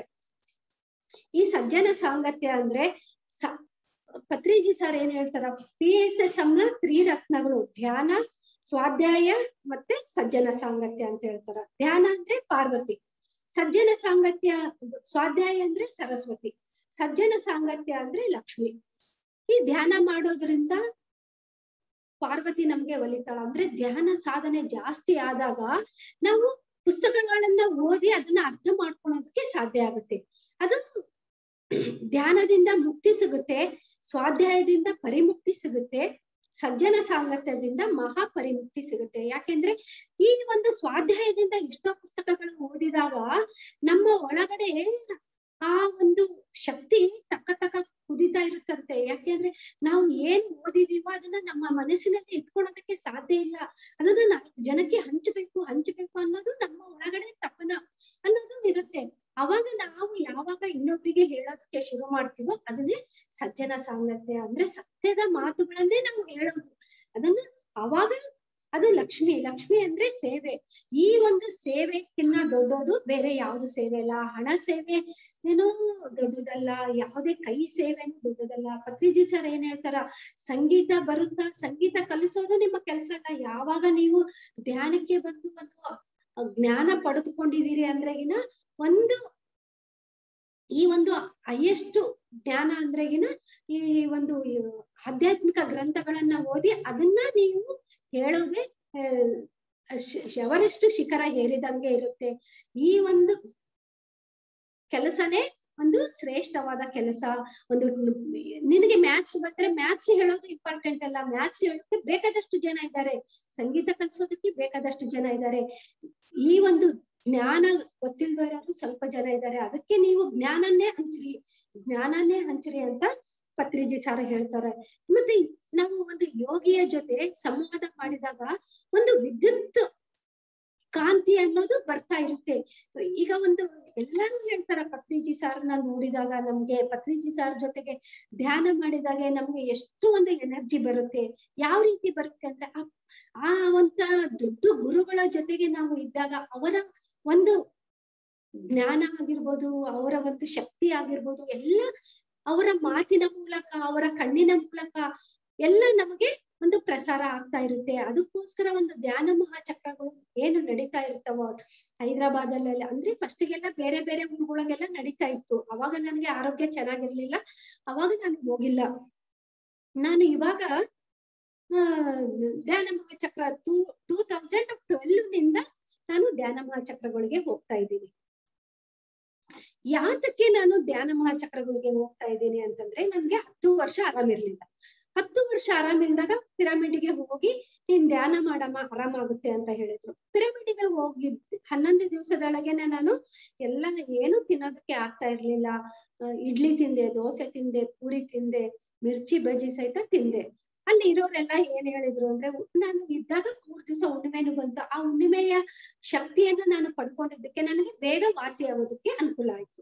ಅಲ್ಲಿ ಇರೋರೆಲ್ಲ ಹೇಳಿದ್ರು, ಅಮ್ಮ, ನಿಮ್ಗೆ ಇನ್ನು ನಲವತ್ತೊಂದು ದಿವಸ ನೀವ್ ಇಲ್ಲೇ ಇದ್ದು ಬಿಟ್ರೆ ಏನೋ? ನಿಮ್ಗೆ ತುಂಬಾ ಆರಾಮ ಆಗುತ್ತೆ ಅಂತ. ಆದ್ರೆ ನನ್ ಮಗಳನ್ನ, ನನ್ನ ನನ್ ತಾಯಿನ ನಾನು ಕರ್ಕೊಂಡ್ ಹೋಗಿದ್ದೆ. ಅವ್ರು ಇರೋ, ನನ್ ಮಗಳು ಇರೋಕ್ ಇಷ್ಟ ಪಡ್ಲಿಲ್ಲ ಸರಿ ಬಿಡು ಅಂತ ನನ್ಗೂ ಯಾಕೋ ಸಾಕ್ ಅನಿಸ್ತು ನಾವು ವಾಪಸ್ ಬಂದ್ಬಿಟ್ವಿ. ವಾಪಸ್ ಬಂದ್ಮೇಲೆ ನಾನು ಅಲ್ಲಿ ಹನ್ನೊಂದು ದಿವಸ ಧ್ಯಾನ ಮಾಡಿ ಬಂದಿದ್ದಕ್ಕೆ ನನ್ನ ಮನೆಗೆ ಹೋದ್ಮೇಲೆ ಆರ್ ತಿಂಗಳ ತನಕನು ಎಷ್ಟು ಎನರ್ಜಿ ಬರ್ತಾ ಇತ್ತು ಅಂದ್ರೆ ನಮ್ಗೆ ಯಾವಾಗ ಕೂತ್ಕೊಂಡ್ರು ಈ ಒಂದು ಬ್ರಹ್ಮರಂಧ್ರದ ಮೂಲಕ ಎನರ್ಜಿ ಅಂತ ನಾವ್ ಏನ್ ಹೇಳ್ತೀವಿ? ಎನರ್ಜಿ ಬರ್ತಾನೆ ಇತ್ತು ಬರ್ತಾನೆ ಇತ್ತು. ಆದ್ರೆ ಎದ್ದೊಳಕ್ಕೆ ಮನ್ಸಾಗ್ತಾ ಇರ, ಆಗ್ತಾ ಇದ್ದಿಲ್ಲ. ಆದ್ರೆ ಅಡಿಗೆ ಕೆಲಸ ಮಾಡ್ಬೇಕು. ಆ ಒಂದು ಎನರ್ಜಿ ಅನ್ನೋದು ನನ್ಗೆ ಜಾಸ್ತಿ ಬರೋದ್ರಿಂದ ನನ್ಗೆ ಹಸುವು ಜಾಸ್ತಿ ಆಗ್ತಾ ಇತ್ತು. ಹತ್ತು ವರ್ಷ ನಾನು ಚೆನ್ನಾಗಿ ಊಟ ಮಾಡ್ತಾ ಇರ್ಲಿಲ್ಲ. ಅದಕ್ಕೆ ಇವಾಗ ಹಸು ಆಗುವಾಗ ಮತ್ತೆ ಅಡಿಗೆ ಎಲ್ಲ ಮಾಡ್ಕೊಂಡು ಊಟ ಮಾಡೋದಕ್ಕೋಸ್ಕರ ನಾನು ಎದ್ದು ಅಡಿಗೆ ಮಾಡೋದು, ಟಿಫನ್ ಮಾಡೋದು, ಎಲ್ಲ ಕೆಲಸಗಳನ್ನ ಈ ರೀತಿಯಾಗಿ ಮಾಡ್ಕೊತಾ ಇದ್ದೆ. ಅವಾಗ ನನ್ನಲ್ಲಿ ಆರು ತಿಂಗಳು ಎಷ್ಟು ಪರಿವರ್ತನೆ ಆದಾಗ ಅವಾಗ ಧ್ಯಾನ ಮಹಾಚಕ್ರ ಟೂ ತೌಸಂಡ್ ಟ್ವೆಲ್ ಅಲ್ಲಿ ಬಂತು. ಅಲ್ಲಿಗೆ ಹೋಗ್ಬೇಕು ಅಂತ ನನ್ಗೆ ಆಸೆ ಆಯ್ತು. ಅಲ್ಲಿ ಹೋಗಿ ಹನ್ನೊಂದು ದಿವಸ ಇದ್ದು ಬಂದಿದ್ದಕ್ಕೆ, ನನ್ನಲ್ಲಿ ಎಷ್ಟೋ ಒಂದು ಪರಿವರ್ತನೆ ಆಗಿದ್ದಕ್ಕೆ ನಮ್ಮ ಮನೆಯವರನ್ನು ಸರಿ, ನೀನು ಧ್ಯಾನ ಮಹಾಚಕ್ರಕ್ಕೆ ಹೋಗು ಅಂತ ಹೇಳಿದ್ರು. ಅವಾಗ ನಮ್ಮ ತಂಗಿಯ ಓರ್ಗಿತ್ತಿ ನೆಗೆಡ್ಡಿ ಅಂತ ಹೇಳ್ತಾರಲ್ಲ, ಅವರು ಹನ್ನೊಂದು ದಿವಸ ಇರ್ತೀವಿ ಅಂತ ಹೇಳಿದ್ದಕ್ಕೆ ಅವ್ರು ಸಿರ್ಗುಪ್ಪದಲ್ಲಿ ಅನ್ಮೇಶ್ ಶೆಟ್ಟಿ ಅಂತ ಅವರು ಒಂದು ದೊಡ್ಡ ಪಿರಮಿಡ್ ಮಾಸ್ಟರ್. ಅವ್ರ ಜೊತೆ ನಾನು ಹೋಗಿ ಹನ್ನೊಂದು ದಿವಸ ಅಲ್ಲಿ ಧ್ಯಾನ ಮಾಡಿದೆ. ಫಸ್ಟ್ಗೆ ನಾನು ಪಿರಮಿಡ್ ಒಂದು ಧ್ಯ- ಧ್ಯಾನ ಮಹಾಚಕ್ರಗಳಿಗೆ ಹೋಗಿದ್ದು. ಅಲ್ಲಿ ಹೋದಾಗ ನಾನು ಆ ಒಂದು ಪಿರಮಿಡ್ ಅಲ್ಲಿ ಎಲ್ಲ ಸ್ವಲ್ಪ ಖಾರನು ತಿಂದೆ ಆಗ್ಲಿ, ಆದ್ರೆ ಮನೆಗೆ ಬಂದ ಮೇಲೆ ಪಿರಮಿಡ್ ಶಕ್ತಿಗೂ, ನಮ್ಮ ಮನೆಯ ಶಕ್ತಿಗೂ ಡಿಫ್ರೆನ್ಸ್ ಆಗುತ್ತೆ, ಮತ್ತೆ ನಾನು ಸಪ್ಪಗೆ ಎಲ್ಲ ಊಟ ಮಾಡೋದಕ್ಕೆ ಶುರು ಮಾಡಿದ್ದೆ. ಅವಾಗ ಧ್ಯಾನ ಚಕ್ರಕ್ಕೆ ಹೋದಾಗ ನಾನು ಒಂದು ಮೂರು ತರ ಎಲ್ಲ ಪಲ್ಯಗಳೆಲ್ಲ ಸಪ್ಪನೂ ಮಾಡ್ಕೊಂಡು ಹೋಗಿದ್ದೆ. ಯಾಕಂದ್ರೆ ನಾನು ಇನ್ನು ಖಾರ ಅವಾಗ ಜಾಸ್ತಿ ತಿಂತಾ ಇರ್ಲಿಲ್ಲ. ಖಾರ ತಿಂತಾನೆ ಇರ್ಲಿಲ್ಲ. ಅದಕ್ಕೋಸ್ಕರ ನಾನು ಒಂದ್ ಸ್ವಲ್ಪ ಪಲ್ಯಗಳನ್ನೆಲ್ಲ ಮಾಡ್ಕೊಂಡು ಹೋಗಿದ್ದೆ. ಆಮೇಲೆ ನಮ್ ತಂಗಿ ಬಂದು, ಅವಳು ಒಂದ್ ಸ್ವಲ್ಪ ತಗೊಂಡ್ ಬಂದ್ಲು. ಆಮೇಲೆ ನಮ್ ತಮ್ಮನ ಹೆಂಡತಿ ಬಂದು, ಅವಳು ಒಂದ್ ಸ್ವಲ್ಪ ಎಲ್ಲ ತಗೊಂಡ್ ಬಂದ್ಲು. ನಾನು ಅಲ್ಲಿ ಅನ್ನ ಅಷ್ಟೇ ಹಾಕಿಸ್ಕೊಂತಿದ್ದೆ ಟಿಫನ್ ಸಹಿತ ನಾನು ಅಲ್ಲಿ ತಿಂತಾ ಇರ್ಲಿಲ್ಲ. ಯಾಕಂದ್ರೆ ಉಪ್ಪಿಟ್ಟು ಮಾಡ್ಲಿ, ಬೇರೆ ಏನೇ ಮಾಡಿದ್ರು ಹಸಿಮೆಣಸಿನ್ಕಾಯಿ ಹಾಕ್ತಿದ್ರಲ್ಲ, ಅದು ನನ್ಗೆ ಆಗೋದಿಲ್ಲ ಅಂತ ನಾನು ಅಲ್ಲಿ ತಿಂತಾ ಇರ್ಲಿಲ್ಲ. ಬಿಸಿ ಬಿಸಿ ರೊಟ್ಟಿ, ಬಿಸಿ ಚಪಾತಿ, ದೋಸೆ, ಇಡ್ಲಿ, ಅದಕ್ಕೆ ಸಕ್ಕರೆ ಹಚ್ಕೊಳೋದಾಗ್ಲಿ, ಇಲ್ಲಾಂದ್ರೆ ನಾನು ಪುಡಿಗಳೆಲ್ಲ ತಗೊಂಡೋಗಿದ್ದೆ, ಅದನ್ನ ಹಚ್ಕೊಂಡು ನಾನು ತಿಂತಾ ಇದ್ದೆ. ಹಣ್ಣುಗಳು ತಿನ್ನೋದು, ರಾಗಿ, ಗಂಜಿ ಕುಡಿಯೋದು, ಈ ರೀತಿ ಎಲ್ಲ ಮಾಡ್ತಾ ಇದ್ದೆ. ನಮ್ ತಮ್ಮನ ಹೆಂಡತಿ ಕೊನೆಗೆ ಪಲ್ಯ ತಂದಾಗ, ಪತ್ರಿಜಿ ಸಾರು ಆ ಬಾಕ್ಸಿನ ಮೇಲೆ ಕೈ ಇಟ್ರಂತ ಆಕಿ ಹೇಳಿದ್ಲು. ಬಾಕ್ಸಿನ ಮೇಲೆ ಪತ್ರಿಜಿ ಸರ್ ಕೈ ಇಟ್ಟಾರ ಅಂದ್ರೆಗಿನ ಅವಾಗ ನನ್ಗೂ ಅಷ್ಟು ಗೊತ್ತಾಗ್ತಿರ್ಲಿಲ್ಲ ಸರಿ ಅಂತ ಅನ್ಕೊಂಡೆ. ಆಮೇಲೆ ಹೇಮಾ ಮೇಡಮ್ ಹೇಳಿದಾಗ ಅವ್ರು ಹೇಳಿದ್ರು, ಇಲ್ಲ, ಆ ಧ್ಯಾನ ಮಹಾಚಕ್ರಗಳಲ್ಲಿ ಅಲ್ಲಿ ಒಂದು ಪಾಸಿಟಿವ್ ಎನರ್ಜಿ ಇರುತ್ತೆ ಅಲ್ಲಿ ಎಲ್ಲ ಎಷ್ಟು ಧ್ಯಾನ ಮಾಡ್ತಾ ಇರ್ತಾರ. ಆ ಒಂದು ಧ್ಯಾನ ಮಾಡಿದ ಸ್ಥಳದಲ್ಲಿ ಅಡಿಗೆ ಮಾಡಿದಾಗ, ಆ ಅಡಿಗೆ ತಿಂದಾಗ ನಮ್ಗೆ ಒಂದು ಪ್ರಸಾದದ ತರ ಇರುತ್ತೆ. ಆ ಅಡಿಗೆ ತಿಂದಾಗ ನಮ್ಗೆ, ಆ ಅಡಿಗೆಯ ಮೂಲಕ ನಮ್ಗೆ ಎನರ್ಜಿ ಹೋಗುತ್ತೆ ಅಂತ. ಅದಕ್ಕೋಸ್ಕರ ನಾನು ಹೊರಗಡೆಯಿಂದ ತಗೊಂಡ್ ಬಂದಿರುವ ಪದಾರ್ಥದ ಮೇಲೆ ಅದಕ್ಕೆ ಪತ್ರಿಜಿ ಸರ್ ತಮ್ಮ ಎನರ್ಜಿಯನ್ನ ನನ್ನ ನನ್ಗೆ ಆ ರೀತಿಯಾಗಿ ಆ ಪಲ್ಲೆಯ ಮೂಲಕ ನನ್ಗೆ ಕೊಟ್ಟಿದ್ದಾರೆ ಅಂತ ನನಗೆ ಆ ನಂತರ ಗೊತ್ತಾಯ್ತು. ಈ ರೀತಿಯಾಗಿ ನನ್ನ ಫಸ್ಟ್ನೇ ಸರಿ ಆ ರೀತಿ ಆಯ್ತು. ಎರಡನೇ ಸಾರಿ ನನ್ಗೆ ಸ್ವಲ್ಪ ಸ್ವಲ್ಪ ಇಲ್ಲಿ ಯಾವ ಈ ಹೆಂಗು ಇಲ್ಲಿ ಇದೀನಿ ಎಷ್ಟು ಎನರ್ಜಿ ಇದೆ. ನಾನು ಈ, ಇಲ್ಲಿ ನಾನು ಊಟ ಮಾಡ್ತಾ ಇದ್ದಾಗ. ಜೀರ್ಣ ಆಗುತ್ತೆ ಅಂತ ಅನ್ಕೊಂಡು ಒಣ ಖಾರ ಹಾಕಿದ್ದು, ಪಪ್ಪು ಆಗಿರ್ಬೋದು, ಒಂದು ಸಾಂಬಾರು, ಆ ರೀತಿಯಾಗಿ ನಾನು ಊಟ ಮಾಡೋಕೆ ಶುರು ಮಾಡಿದೆ. ಮೂರನೇ ವರ್ಷ ಹೋದಾಗ ಸ್ವಲ್ಪ ಸ್ವಲ್ಪ ಪುಡಿಗಳಷ್ಟೇ ತಗೊಂಡೋಗಿದ್ದೆ. ನೋಡೋಣ, ಅಲ್ಲಿ ಜೀರ್ಣ ಅದು ಹಸಿ ಖಾರ ಇದ್ದಿದ್ದು ಪದಾರ್ಥ ಮಾತ್ರ ನಾನು ಮೂರನೇ ವರ್ಷ ತಿನ್ನೋದನ್ನ ಬಿಟ್ಟೆ. ಈ ರೀತಿಯಾಗಿ ಯಾಕೆ ನಮ್ಗೆ ಎನರ್ಜಿ ಬರುತ್ತೆ ಅಂತ ನನ್ನಲ್ಲಿ ಕ್ವಶನ್ ಇತ್ತು. ನಾನು ಅಲ್ಲಿ ಹನ್ನೊಂದು ದಿವಸ ನಾನು ಕಳೆದು ಬಂದೀನಿ ಈಗ ಒಂದು ವರ್ಷ ಪೂರ್ತಿ ನನ್ಗೆ ಎಷ್ಟು ಎನರ್ಜಿ ಇರ್ತಿತ್ತು, ಎಷ್ಟು ಕೆಲಸ ಮಾಡಿದ್ರು ನನ್ಗೆ ಸುಸ್ತಾಗ್ತಾ ಇರ್ಲಿಲ್ಲ. ಯಾಕಂದ್ರೆ ನನ್ನಲ್ಲಿ ಬ್ಲಡ್ ಅನ್ನೋದು ತ್ರೀ ಪಾಯಿಂಟ್ ಫೈವ್ಗೆ ಹೋಗಿತ್ತು. ನನ್ ತೂಕ ಎಷ್ಟು ಒಂದು ಮೂವತ್ತೆಂಟು ಕೆಜಿ ಆಗಿತ್ತು. ಮತ್ತೆ ಎಲ್ಲಾ ಯಾವ್ದು ಟೆಸ್ಟ್ ಮಾಡಿಸ್ಕೊಂಡ್ರು ಅದು ಮೈನಸ್ ತೋರಿಸ್ತಾ ಇತ್ತು. ಅದಕ್ಕೆ ನಾನು ಆ ಸಮಯದಲ್ಲಿ ಯಾವ ಟೆಸ್ಟ್ಗಳನ್ನು ನಾನು ಮಾಡಿಸ್ಕೊಳಕ್ಕೆ ಹೋಗ್ತಾ ಇರ್ಲಿಲ್ಲ. ಅಲ್ಲಿ ಹೋಗಿ ಹನ್ನೊಂದು ದಿವಸ ಬಂದ್ರೆ ನನ್ನಲ್ಲಿ ಎಷ್ಟು ಉತ್ಸಾಹ ಅನ್ನೋದು ಇರ್ತಿತ್ತು. ಎಷ್ಟು ಶಕ್ತಿ ಬರ್ತಾ ಇತ್ತು. ಎಷ್ಟು ಕೆಲಸ ಮಾಡಿದ್ರು ಅಂದ್ರೆ ನಮಗೆ ಒಂದು ಉತ್ಸಾಹ, ಶಕ್ತಿ ಇದ್ದಾಗ ಎಷ್ಟು ಕೆಲಸ ಆದ್ರೂ ಇನ್ನೊಬ್ರ ಮೇಲೆ ನಾವು ಕೋಪ ಮಾಡ್ಕೊಳಂಗಿಲ್ಲ. ನಮ್ಗೆ ಆ ಕೆಲಸ ಮಾಡೋದಕ್ಕೆ ಶಕ್ತಿ ಇಲ್ಲ ಅಂತಂದ್ರಾಗಿನ ಬೇರೆಯವ್ರ ಮೇಲೆ ನಾವು ಸಿಟ್ಟು ಮಾಡ್ಕೊಂತೀವಿ, ಕೋಪ ಮಾಡ್ಕೊಂತೀವಿ. ಅದರಿಂದ ಜಗಳಗಳು ಎಲ್ಲ ಬರ್ತಾವ. ಈ ಒಂದು ಜ್ಞಾನ ಸಭೆಯ ಕಾರ್ಯಗಳು, ಇದರ ಉದ್ದೇಶ ಏನು ಅಂತಂದ್ರೆಗಿನ ಈ ಒಂದು ಇದಕ್ಕೆಲ್ಲ ಒಂದು ಜ್ಞಾನ ಸಭೆ ಅಂತ ಕರೀತಾರ. ಆ ಒಂದು ಉದ್ದೇಶ ಅಂದ್ರೆ ಒಂದು ಜ್ಞಾನಾರ್ಜನೆ ಪಡೆಯೋದು ಅಲ್ಲ, ಮತ್ತೆ ಒಂದು ಜಿಜ್ಞಾಸು ಹುಟ್ಟಿಸೋದಕ್ಕೂ ಅಲ್ಲ, ಒಂದು ಆಧ್ಯಾತ್ಮಿಕಕ್ಕೆ ಪ್ರೋತ್ಸಾಹಿಸೋದಕ್ಕೂ ಅಲ್ಲ. ಯಾತಕ್ಕೆ ಅಂದ್ರೆ ಇದು ಎಲ್ಲ ನಮ್ಮೆಲ್ಲರ ಪ್ರಯತ್ನದಿಂದ ಒಂದು ಸೇವಾಗ್ನಿ ಅನ್ನೋದು ಏರ್ಪಾಟಾಗುತ್ತೆ. ಆ ಸೇವಾಗ್ನಿ ಅನ್ನೋದು ಏರ್ಪಾಟಾದಾಗ ಆ ಸೇವಾಗ್ನಿಯಲ್ಲಿ ಈ ಏರ್ಪಾಟಾದಾಗ ಈ ಪ್ರಯತ್ನದಲ್ಲಿ ನಾವೆಲ್ಲರೂ ಸೇರೋದ್ರಿಂದ ಭವಿಷ್ಯತ್ತಿಗೆ ಮತ್ತೆ ಒಂದು ಸೇವೆಗೆ ಸೇವೆಗೋಸ್ಕರ ಯಾರು ಪ್ರ, ಪರಿಶ್ರಮ ಅನ್ನೋದು ಪಡ್ತಾ ಇರ್ತಾರೋ ಆವಾಗ ಅಲ್ಲಿ ಒಂದು ಅಗ್ನಿಗೋಲ ಅನ್ನೋದು ಉತ್ಪತ್ತಿ ಆಗುತ್ತೆ. ಆ ಅಗ್ನಿಗೋಲದಲ್ಲಿ ಅವಾಗ ನಮ್ಮ ಸಂಕಲ್ಪಗಳು ತಪ್ಪದೇ ನೆರವೇರ್ತಾವ. ಆ ಸಂಕಲ್ಪಗಳು ನೆರವೇರಿದಾಗ ಅವಾಗ ಆ ಸ್ಥಳದಿಂದ ನಾವು ಎನರ್ಜಿಯನ್ನು ಏನ್ ತಗೊಂಡಿರ್ತೀವಿ? ಅವಾಗ ನಮ್ಮ ಮನೆಗಳಿಗೆ ಬಂದಾಗ ಆ ನಮ್ಮ ಮೂಲಕ ಆ ಎನರ್ಜಿ ಬಂದು ನಮ್ಮ ಊರಿಗೆ ಆಗಿರ್ಬೋದು, ನಮ್ಮ ಮನೆಗೆ ಆಗಿರ್ಬೋದು, ಆ ಎನರ್ಜಿನೆಲ್ಲ ನಾವು ತುಂಬುತ್ತೀವಿ ಆ ಎನರ್ಜಿ ಎಲ್ಲ ನಾವು ತುಂಬಿದಾಗ ಆ ಒಂದು ಆ ಒಂದು ಕ್ಷೇತ್ರ ನಮ್ಮ, ಆ ಅಂತ ಒಂದು ಧ್ಯಾನ ಮಹಾಚಕ್ರಗಳಿಂದ ನಮ್ಮ ಊರಿಗೆ ಬಂದಾಗ ಆ ನಮ್ಮ ಊರೇ ಒಂದು ಒಂದು ಮಹಾಕ್ಷೇತ್ರ ಆಗೋದಕ್ಕೆ ಶುರುವಾಗುತ್ತೆ. ಆ ಅಗ್ನಿ ಮಹಾ, ಆ ಅಗ್ನಿಯ ಮಹಾಕ್ಷೇತ್ರದಿಂದ ನಾವು ಬಂದಾಗ ನಾವು ಯಾವ ರೀತಿ ಬಂದಿರ್ತೀವೋ ಅದರ ಜೊತೆ ನಮಗೆ ಕನೆಕ್ಟ್ ಅನ್ನೋದು ಸ್ಟಾರ್ಟ್ ಆಗ್ಬಿಡುತ್ತೆ. ಆ ಒಂದು ಅಲ್ಲಿಯ ಎನರ್ಜಿಗೂ ನಮಗೂ ಒಂದು ಸತತ ಒಂದು ಕನೆಕ್ಷನ್ ಅನ್ನೋದು ಉತ್ಪತ್ತಿ ಆಗುತ್ತೆ. ಆ ರೀತಿಯಾಗಿ ನಮ್, ನಾವು ನಮ್ಮ ಊರಿಗೆ ಆ ರೀತಿಯಾಗಿ ಎನರ್ಜಿ, ಎನರ್ಜಿಯನ್ನು ತರೋದಕ್ಕೆ ಸಾಧ್ಯ ಆಗುತ್ತೆ. ಅದಕ್ಕೋಸ್ಕರ ಏನ್ ಹೇಳ್ತಾರಂದ್ರೆ ಒಂದು ಸಾರಿ ಆದ್ರೂ ಹೋಗಿ ಬನ್ರಿ ನೀವು ಧ್ಯಾನ ಮಹಾಚಕ್ರಗಳಿಗೆ ನೀವು ಒಂದು ಸಾರಿ ಹೋಗಿ ಬಂದಾಗಿನ ಅದು ಒಂದು ಆಯಸ್ಕಾಂತದ ತರ ಅಟ್ರಾಕ್ಟ್ ಮಾಡುತ್ತೆ. ಮತ್ತೆ ಮತ್ತೆ ನಾವು ಅಲ್ಲಿಗೆ ಹೋಗೋದಕ್ಕೆ ಅದು ಅವಕಾಶ ನೀಡುತ್ತೆ ಅಂತ ಹೇಳ್ತಾರ. ಅದರ ಒಂದು ಸ್ವಲ್ಪ ಭಾಗವನ್ನ ನಾವು ನಮ್ಮ ಊರುಗಳಿಗೆ ತಗೊಂಡ್ ಬರ್ತೀವಿ. ಅವಾಗ ನಮ್ಮ ಊರುಗಳಲ್ಲಿ ಇರುವ ಜನರನ್ನ ನಾವು ಪರಿವರ್ತನೆ ಮಾಡೋದಕ್ಕೆ ಸಾಧ್ಯ ಆಗುತ್ತೆ ಅಂತಹ ಸಮ ಸಭೆಗಳಲ್ಲಿ ನಾವು ಪಾಲ್ಗೊಂಡಾಗ ನಮ್ಗೆ ಎಷ್ಟೋ ಶಕ್ತಿ ಅನ್ನೋದು ಬರುತ್ತೆ. ನಾವು ಮತ್ತೆ ಒಂದು ಪ್ರದೇಶದಲ್ಲಿ ಈ ರೀತಿಯಾಗಿ ನಮ್ಗೆ ಶಕ್ತಿಗಳು ಬರ್ತಾ ಹೋಗ್ತವ. ಈ ಅಗ್ನಿ ಕಣ ಈ ಅಗ್ನಿ ಕಣಗಳನ್ನ, ಆ ಅಗ್ನಿ ಕಣಗಳನ್ನ ನಾವು ಏನ್ ತಂದಿರ್ತೀವೋ, ಆ ಅಗ್ನಿ ಕಣಗಳನ್ನೆಲ್ಲವಷ್ಟು ನಮ್ಮ ಕ್ಷೇತ್ರಗಳಿಗೆ ತಗೊಂಡೋಗೋದಕ್ಕೆ ಸಾಧ್ಯ ಆಗುತ್ತೆ. ನನ್ಗೆ ಒಂದು ಕ್ಲಾಸ್ಗಳು ಮಾಡೋದಕ್ಕೆ ಬರ್ತಾ ಇರ್ಲಿಲ್ಲ. ಎಲ್ಲವಷ್ಟು ನನ್ಗೆ ಕಲಿಸಿಕೊಟ್ಟಿರೋದು ಹೇಮಾ ಮೇಡಮೇ.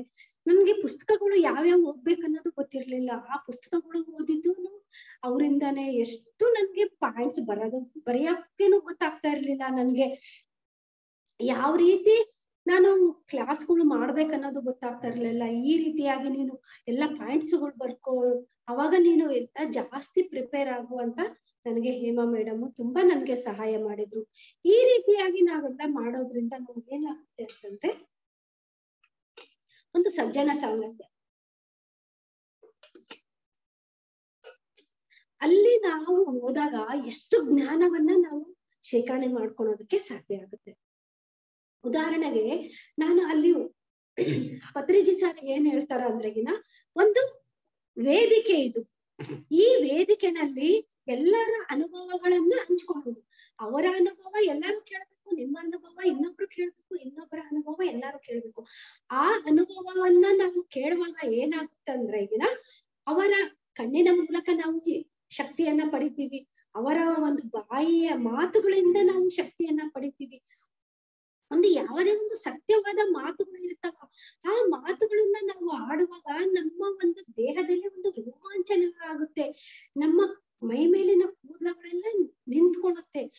ಅವಾಗ ನಾವು ಇದು ಸತ್ಯವಾದ ಮಾತು ಅನ್ನೋದು ನಮ್ಗೆ ಗೊತ್ತಾಗೋದಕ್ಕೆ ಶುರುವಾಗುತ್ತೆ. ಆ ಒಂದು ವೈಬ್ರೇಷನ್ ಆ ಒಂದು ಸಜ್ಜನ ಸಾಂಗತ್ಯದಿಂದ ನಾನು ಎಷ್ಟು ಸಾ ತಿಳ್ಕೊಂಡಿದ್ದೀನಿ ಅಂತಂದ್ರೆ ನಾನು ಎಷ್ಟೋ ಒಂದು ಸಣ್ಣ ಪುಟ್ಟ ವಿಷಯಗಳಿಗೆಲ್ಲ ನಾನು ನಮ್ಮ ಮನೆಯವ್ರ ಜೊತೆಗೆ ಜಗಳ ಮಾಡ್ತಾ ಇದ್ದೆ. ದೊಡ್ಡ ದೊಡ್ಡ ಸಮಸ್ಯೆಗಳು ಇದ್ದಾಗ ನಾವು ಕೂಡ್ ಕೂತ್ಕೊಂಡು ನಾವು ಅದನ್ನೆಲ್ಲ ನಾವು ಪರಿಶೀಲನೆ ಮಾಡ್ಕೋತೀವಿ. ಆದ್ರೆ ನಾವು ಜಗಳ ಮಾಡೋದು ಒಂದು ಸಣ್ಣ ವಿಷಯಗಳಿಗೆ. ಆ ಒಂದು ಅವತ್ತ ಒಂದು ದಿವಸ ಪ್ರೇಮನಾಥ್ ಸಾರು ಹೇಳಿದ್ರು. ಗಂಡ ಅಂದ್ರಗಿನ ಒಂದು ಶ್ರೀಮನ್ ನಾರಾಯಣನ ತರ ಅದಕ್ಕೋಸ್ಕರ ನಮಗೆ, ನಮಗೋಸ್ಕರನೇ ಅವರು ದುಡಿತಾರೆ. ಗಂಡ್ಮಕ್ಳಿಗೆ ಏನ್ ಬೇಕು? ಅವ್ರಿಗೆ ಒಂದು ಮೂರೊತ್ತು ಊಟ ಇದ್ರೆ ಸಾಕು, ಯಾವಾಗ್ಲೂ ನಗ್ತಾ ನಗ್ತಾ ಮಾತಾಡುವ ಹೆಂಡತಿ ಇದ್ರೆ ಸಾಕು, ಒಂದು ಪ್ರೀತಿ ಮಾಡ್, ಮಾಡ್ಬೇಕು. ಮಕ್ಕಳು ಎಲ್ಲ ಚೆನ್ನಾಗಿ ನಗ್ತಾ ನಗ್ತಾ ಇರ್ಬೇಕು. ಮನೆಯನ್ನ ಚೆನ್ನಾಗಿ ನೋಡ್ಕೊಂಡ್ರೆ ಅಷ್ಟೇ ಸಾಕು. ಆ ಒಂದು ದುಡಿಮೆಯ ದುಡ್ಡಿನಿಂದ ನಮಗೆ ಎಷ್ಟು ಸೀರೆಗಳು ತಗೊಂಡ್ ಸಾಕಾಗಲ್ಲ, ನಮ್ಗೆ ಎಷ್ಟು ಬಂಗಾರ ತಗೊಂಡ್ರು ನಮ್ಗೆ ಸಾಕಾಗಲ್ಲ. ಎಷ್ಟು ಊರುಗಳು ತಿರುಗಿದ್ರು ನಮ್ಗೆ ಸಾಕಾಗೋದಿಲ್ಲ. ನಿಜವಾಗ್ಲೂ ಗಂಡ್ಮಕ್ಳಿಗೆ ಏನು ಬೇಕಾಗಿರೋದಿಲ್ಲ. ಇದೆಲ್ಲ ನಮಗೋಸ್ಕರನೇ ದುಡಿತಾರ. ಆದ್ರೆ ನಾವು ಗಂಡ್ಮಕ್ಳಿಗೆ ಏನ್ ಕೊಡ್ತೀವಿ? ನಾವು ಗಂಡಂದ್ರಿಗೆ ಏನ್ ಕೊಡ್ತಾ ಇದೀವಿ? ಯಾವಾಗ್ಲೂ ಆಸೆಗಳ ಕೋರಿಕೆಗಳನ್ನ ನಮ್ಮ ಮನಸ್ಸಿನಲ್ಲಿ ಇಟ್ಕೊಳ್ಳೋದು ನನ್ನ ಈ ಆಸೆಯನ್ನ ನೆರವೇರಿಸಿಲ್ಲ. ಈ ಆಸೆಯನ್ನ ನೆರವೇರಿಸಿಲ್ಲ ಅಂತ ಅನ್ನೋದು ದಿನಾ ಜಗಳ ಆಡೋದು.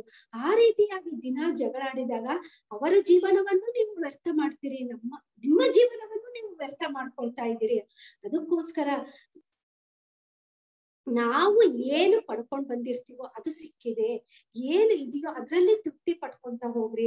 ಅವಾಗ ನಿಮಗೆ ಬೇಕ ಇದಿಷ್ಟು ಸಾಕು, ಇಷ್ಟು ಸಾಕು ಅಂದಾಗ ನಮ್ಗೆ ಎಲ್ಲ ಸಿಕ್ಕುತ್ತೆ. ನಾವು ಚೆನ್ನಾಗಿ ಇದ್ದಾಗ, ಅವ್ರ ಜೊತೆ ಚೆನ್ನಾಗಿ ಪ್ರೀತಿಯಿಂದ ಇದ್ದಾಗ ನಾವು ಏನ್ ಕೇಳಿದ್ರು ಅವ್ರು ಕೊಡ್ಸೋದಕ್ಕೆ ತಯಾರಾಗಿರ್ತಾರ. ಆದ್ರೆ ಫಸ್ಟ್ ಒಂದು ಹೆಜ್ಜೆ ನಾವು ತ್ಯಾಗ ಮಾಡ್ಬೇಕು.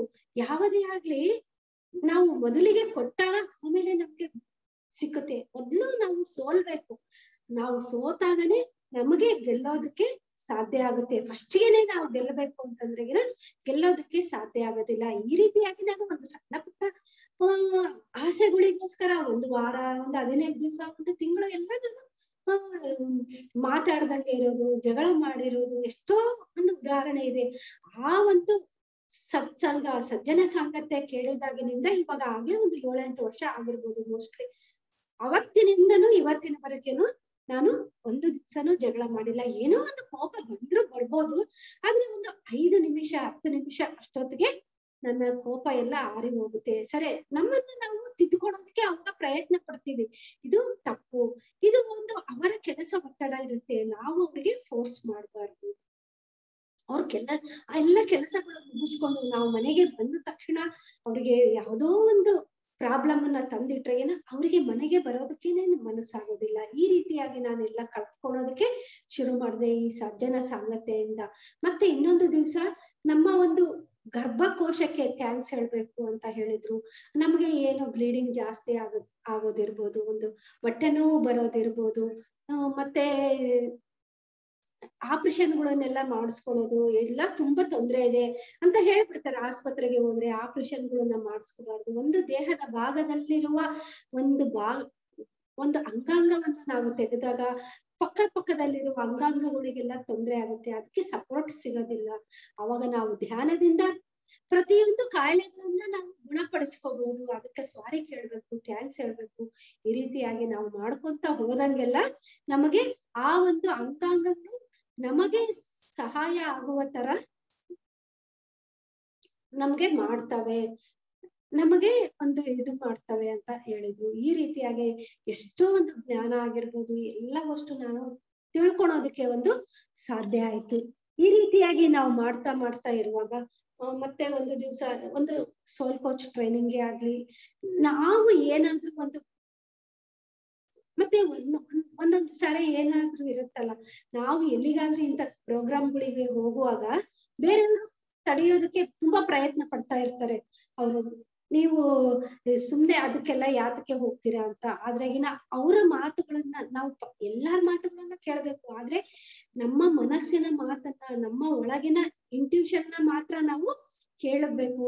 ಬೇರೆಯವ್ರ ಮಾತುಗಳನ್ನ ನಾವು ಕೇಳಬಾರ್ದು. ಒಂದು ಅಲ್ಲಿಗೆ ಹೋದಾಗ ನಾವು ಏನು ಒಂದು ಜ್ಞಾನವನ್ನ ಪಡ್ಕೊಂಡಿದೀವಿ ನಮ್ಮಲ್ಲಿ ಯಾವ ಪರಿವರ್ತನೆ ಆಗಿದೆ ಅನ್ನೋದು ನಮ್ಗೆ ಗೊತ್ತಿರುತ್ತೆ. ಒಂದು ವರ್ಷ ನನ್ಗೆ ಧ್ಯಾನ ಮಹಾಚಕ್ರಕ್ಕೆ ಹೋಗೋದಕ್ಕೆ ಆಗಿರ್ಲಿಲ್ಲ, ಏನೋ ಅನಾನುಕೂಲದಿಂದ. ಆ ವರ್ಷ ನಮ್ಗೆ ಗೊತ್ತಾಯ್ತು, ಎಷ್ಟು ನಮ್ಗೆ ಸುಸ್ತಾಗ್ತಾ ಇತ್ತು ಅಂದ್ರೆ ಏನ, ಬಹಳ ಸುಸ್ತಾಗ್ತಾ ಇತ್ತು. ಒಂದು ಆಚಾರ್ಯ ಸಾಂಗತ್ಯ ಆಗಿರ್ಬೋದು, ಆ ಅದನ್ನೆಲ್ಲ ನಾವು ಒಂದು ಹನ್ನೊಂದು ಹನ್ನೊಂದು ದಿವಸ ಪತ್ರಿಜಿ ಸರ್ ಜೊತೆಗೆ ಅವರ ಒಂದು ವೈಬ್ರೇಷನ್ ಜೊತೆಗೆ ಒಂದು ಒಂದು ಗುರುಗಳು ಆರದಲ್ಲಿ ಹೋಗೋದಕ್ಕೆ ನಾವು ಎಷ್ಟೋ ಒಂದು ಪುಣ್ಯ ಮಾಡಿರ್ಬೇಕು ಅಂತ ಹೇಳ್ತಾರ. ಆದ್ರೆ ಇಂತ ಒಂದು ಸಜ್ಜನ ಸಾಂಗತ್ಯಗಳಿಗೆ ಹನ್ನೊಂದು ಹನ್ನೊಂದು ದಿವ್ಸ ನಮ್ಮ, ನಮ್ಮನ್ನ ಮನೆಗಿನವ್ರು ಕಳಿಸಿದ್ದಾರೆ ಅಂದ್ರೆ ನಾವು ಅವರಿಗೆ ಎಷ್ಟು ಒಂದು ಥ್ಯಾಂಕ್ಸ್ ಅನ್ನ ಹೇಳ್ಬೇಕು. ಅದು ನಾನು ಯಾತಕ್ಕೆ ಹೋಗಿದ್ದೆ ಅಂತಂದ್ರೆ ನನ್ನದೇ ಒಂದು ಆರೋಗ್ಯ ಬೇಕಾಗಿತ್ತು, ಒಂದು ಜ್ಞಾನ ಬೇಕಾಗಿತ್ತು. ಅನ್ನ ನಲವತ್ತೊಂದು ದಿವಸ ನಾನು ಅಲ್ಲಿ ಪಿರಮಿಡ್ನಲ್ಲಿ ಇದ್ದು ನಾನೆಲ್ಲ ಆರಾಮ್ ಮಾಡ್ಕೊಂಡಿದ್ರೆ ನಾನು ನನಗೆ ಧ್ಯಾನ ಮಹಾಚಕ್ರಗಳಿಗೆ ಹೋಗೋದಕ್ಕೆ ಸಾಧ್ಯ ಆಗ್ತಿದ್ದಿಲ್ಲ. ಯಾಕೆಂದ್ರೆ ಆ ಧ್ಯಾನ ಮಹಾಚಕ್ರಗಳು ನಡೆಯುವಾಗ ನನ್ನ ಮಗಳು ಇಂಜಿನಿಯರ್ ಹೋಗ್ತಾ ಇದ್ಲು. ಅವಾಗ ಅವಳಿಗೆ ಎಕ್ಸಾಮ್ ಫೈನಲ್ ಎಕ್ಸಾಮ್ ಇರ್ತಾ ಇತ್ತು. ಅದಕ್ಕೋಸ್ಕರ ಎಕ್ಸಾಮ್ ಇದ್ರೂ ಸಹಿತ ನಮ್ಮ ಮನೆಯಲ್ಲಿ ನನಗೆ ಕಳಿಸಿಕೊಟ್ರು. ಯಾಕೆ ಅಂದ್ರೆ ನಾನು ಸಜ್ಜನ ಸಾಂಗತ್ಯ ಕಲ್ತ್ಕೋಬೇಕು ಅಂತ ನಾನು ಅಲ್ಲಿ ಹನ್ನೊಂದು ದಿವಸಕ್ಕೆನೆ ವಾಪಸ್ ಬಂದು ಈ ಧ್ಯಾನ ಮಹಾಚಕ್ರಗಳಿಗೆ ಹೋಗೋದಕ್ಕೆ ಸಾಧ್ಯ ಆಯ್ತು. ನಾನು ಆವಾಗ ಸಂಪೂರ್ಣ ಆರೋಗ್ಯವಾಗಿದ್ದಿದ್ರೆ ಮಾತ್ರ ನನಗೆ ನಮ್ಮ ಮನೆಯಲ್ಲಿ ಕಳಿಸ್ಕೊಡ್ತಾ ಇರ್ಲಿಲ್ಲ. ನನಗೆ ಇಷ್ಟು ಕ್ಲಾಸ್ಗಳು ಮಾಡೋಕ್ಕೆ ಅವಕಾಶನೂ ನನಗೆ ಸಿಗ್ತಾ ಇರ್ಲಿಲ್ಲ. ಇಷ್ಟು ಜ್ಞಾನನೂ ಸಿಗ್ತಾ ಇರ್ಲಿಲ್ಲ. ಈ ಬರೀ ಧ್ಯಾನ ಮಾಡೋದ್ರಿಂದ ನಮ್ಮ ಜ್ಞಾನ ಅನ್ನೋದು ಬೆಳೆಯೋದಿಲ್ಲ. ಧ್ಯಾನನೂ ಮಾಡ್ಬೇಕು ಧ್ಯಾನದ ಜೊತೆ ಜ್ಞಾನ ಇರ್ಬೇಕು, ಅದರಿಂದ ನಾವು ಪರಿವರ್ತನೆ ಹೊಂದಿದಾಗ ಮಾತ್ರ ನಮ್ಗೆ ನಮ್ಮ ಮನೆಯನ್ನು ಒಂದು ದೇವಾಲಯ ತರ ಅಂತ ಹೇಳ್ತಾರಲ್ಲ, ದೇವಾಲಯನೂ ಆಗಿರ್ಬೋದು ಒಂದು ಸಂತೋಷದಿಂದ ನಾವು ತಯಾರು ಮಾಡ್ಬೇಕಂದ್ರೆಗಿನ ನಮಗೆ ಮೂರುನು ಬಹಳ ಇಂಪಾರ್ಟೆಂಟ್ ಅದಕ್ಕೋಸ್ಕರ ಪತ್ರಿಜಿ ಸರ್ ಯಾವಾಗ್ಲೂ ಹೇಳೋದು, ಪುಸ್ತಕ ಓದ್ರಿ ಪುಸ್ತಕ ಓದ್ರಿ. ದಿವ್ಸಾನು ಎಷ್ಟು ಹೇಳ್ತಾ ಇರ್ತಾರ, ಧ್ಯಾನ ಮಹಾಚಕ್ರಗಳನ್ನ ಇಂತಿಂತ ಪುಸ್ತಕಗಳನ್ನ ನೀವು ಓದ್ರಿ. ಇಂಥ ಸ್ಟಾಲ್ನಲ್ಲಿ ಇದಾವೆ ಅಂತ. ನೀವು ಧ್ಯಾನ ಕಸ್ತೂರಿಗಳನ್ನ ಆಗ್ಲಿ, ನೀವು ಓದ್ರಿ. ಮತ್ತೆ ಇನ್ನೊಬ್ರಿಗೆ ಓದೋದಕ್ಕೆ ಪ್ರಚೋದನೆ ಮಾಡ್ರಿ. ಅವಾಗ ನಾವು ಏನು, ಇನ್ನೊಬ್ರಿಗೆ ಓದೋದಕ್ಕೆ ಒಂದು ನಾವು ಅವ್ರಿಗೆ ಪ್ರೋತ್ಸಾಹಿಸ್ತೀವೋ, ನಮಗೆ ಅದು ಇನ್ನು ಜ್ಞಾನ ಅನ್ನೋದು ಜಾಸ್ತಿ ಸಿಗೋದಕ್ಕೆ ಸಾಧ್ಯ ಆಗುತ್ತೆ. ಈ ಒಂದು ತೆಲುಗು ಅಂತೂ ನನ್ಗೆ ತುಂಬಾ ಆಶ್ಚರ್ಯ. ಇಷ್ಟು ಪುಸ್ತಕಗಳು ಫಸ್ಟ್ ಫಸ್ಟ್ಗೆ ಕನ್ನಡ ಪುಸ್ತಕಗಳು ಸಹಿತ ನನ್ಗೆ ಒಂದು ಆಧ್ಯಾತ್ಮಿಕ ಪುಸ್ತಕ ಓದೋದಕ್ಕೆ ಸಾಧ್ಯ ಆಗ್ತಾ ಇರ್ಲಿಲ್ಲ. ಅದು ಅರ್ಥನೇ ಆಗ್ತಾ ಇರ್ಲಿಲ್ಲ. ಯಾವಾಗ ನಾವು ಎಲ್ಲರ ಸಜ್ಜನ ಎಲ್ಲರ ಮಾತುಗಳನ್ನ ಕೇಳ್ತಾ ಕೇಳ್ತಾ ನಮ್ಮಲ್ಲಿ ಎಷ್ಟೋ ಒಂದು ಜ್ಞಾನ ಅನ್ನೋದು ಏರ್ಪಟ್ಟಾಗುತ್ತೆ. ಆ ಒಂದು ಸನ್ನಿವೇಶಕ್ಕೆ ಆಗ್ಲಿ ಒಂದು ವರ್ಡ್ ಯಾತಕ್ಕೆ ಉಪಯೋಗಿಸ್ತಾರ ಅನ್ನೋದನ್ನ ನಮ್ಗೆ ಗೊತ್ತಾಗೋದಕ್ಕೆ ಶುರುವಾಗುತ್ತೆ.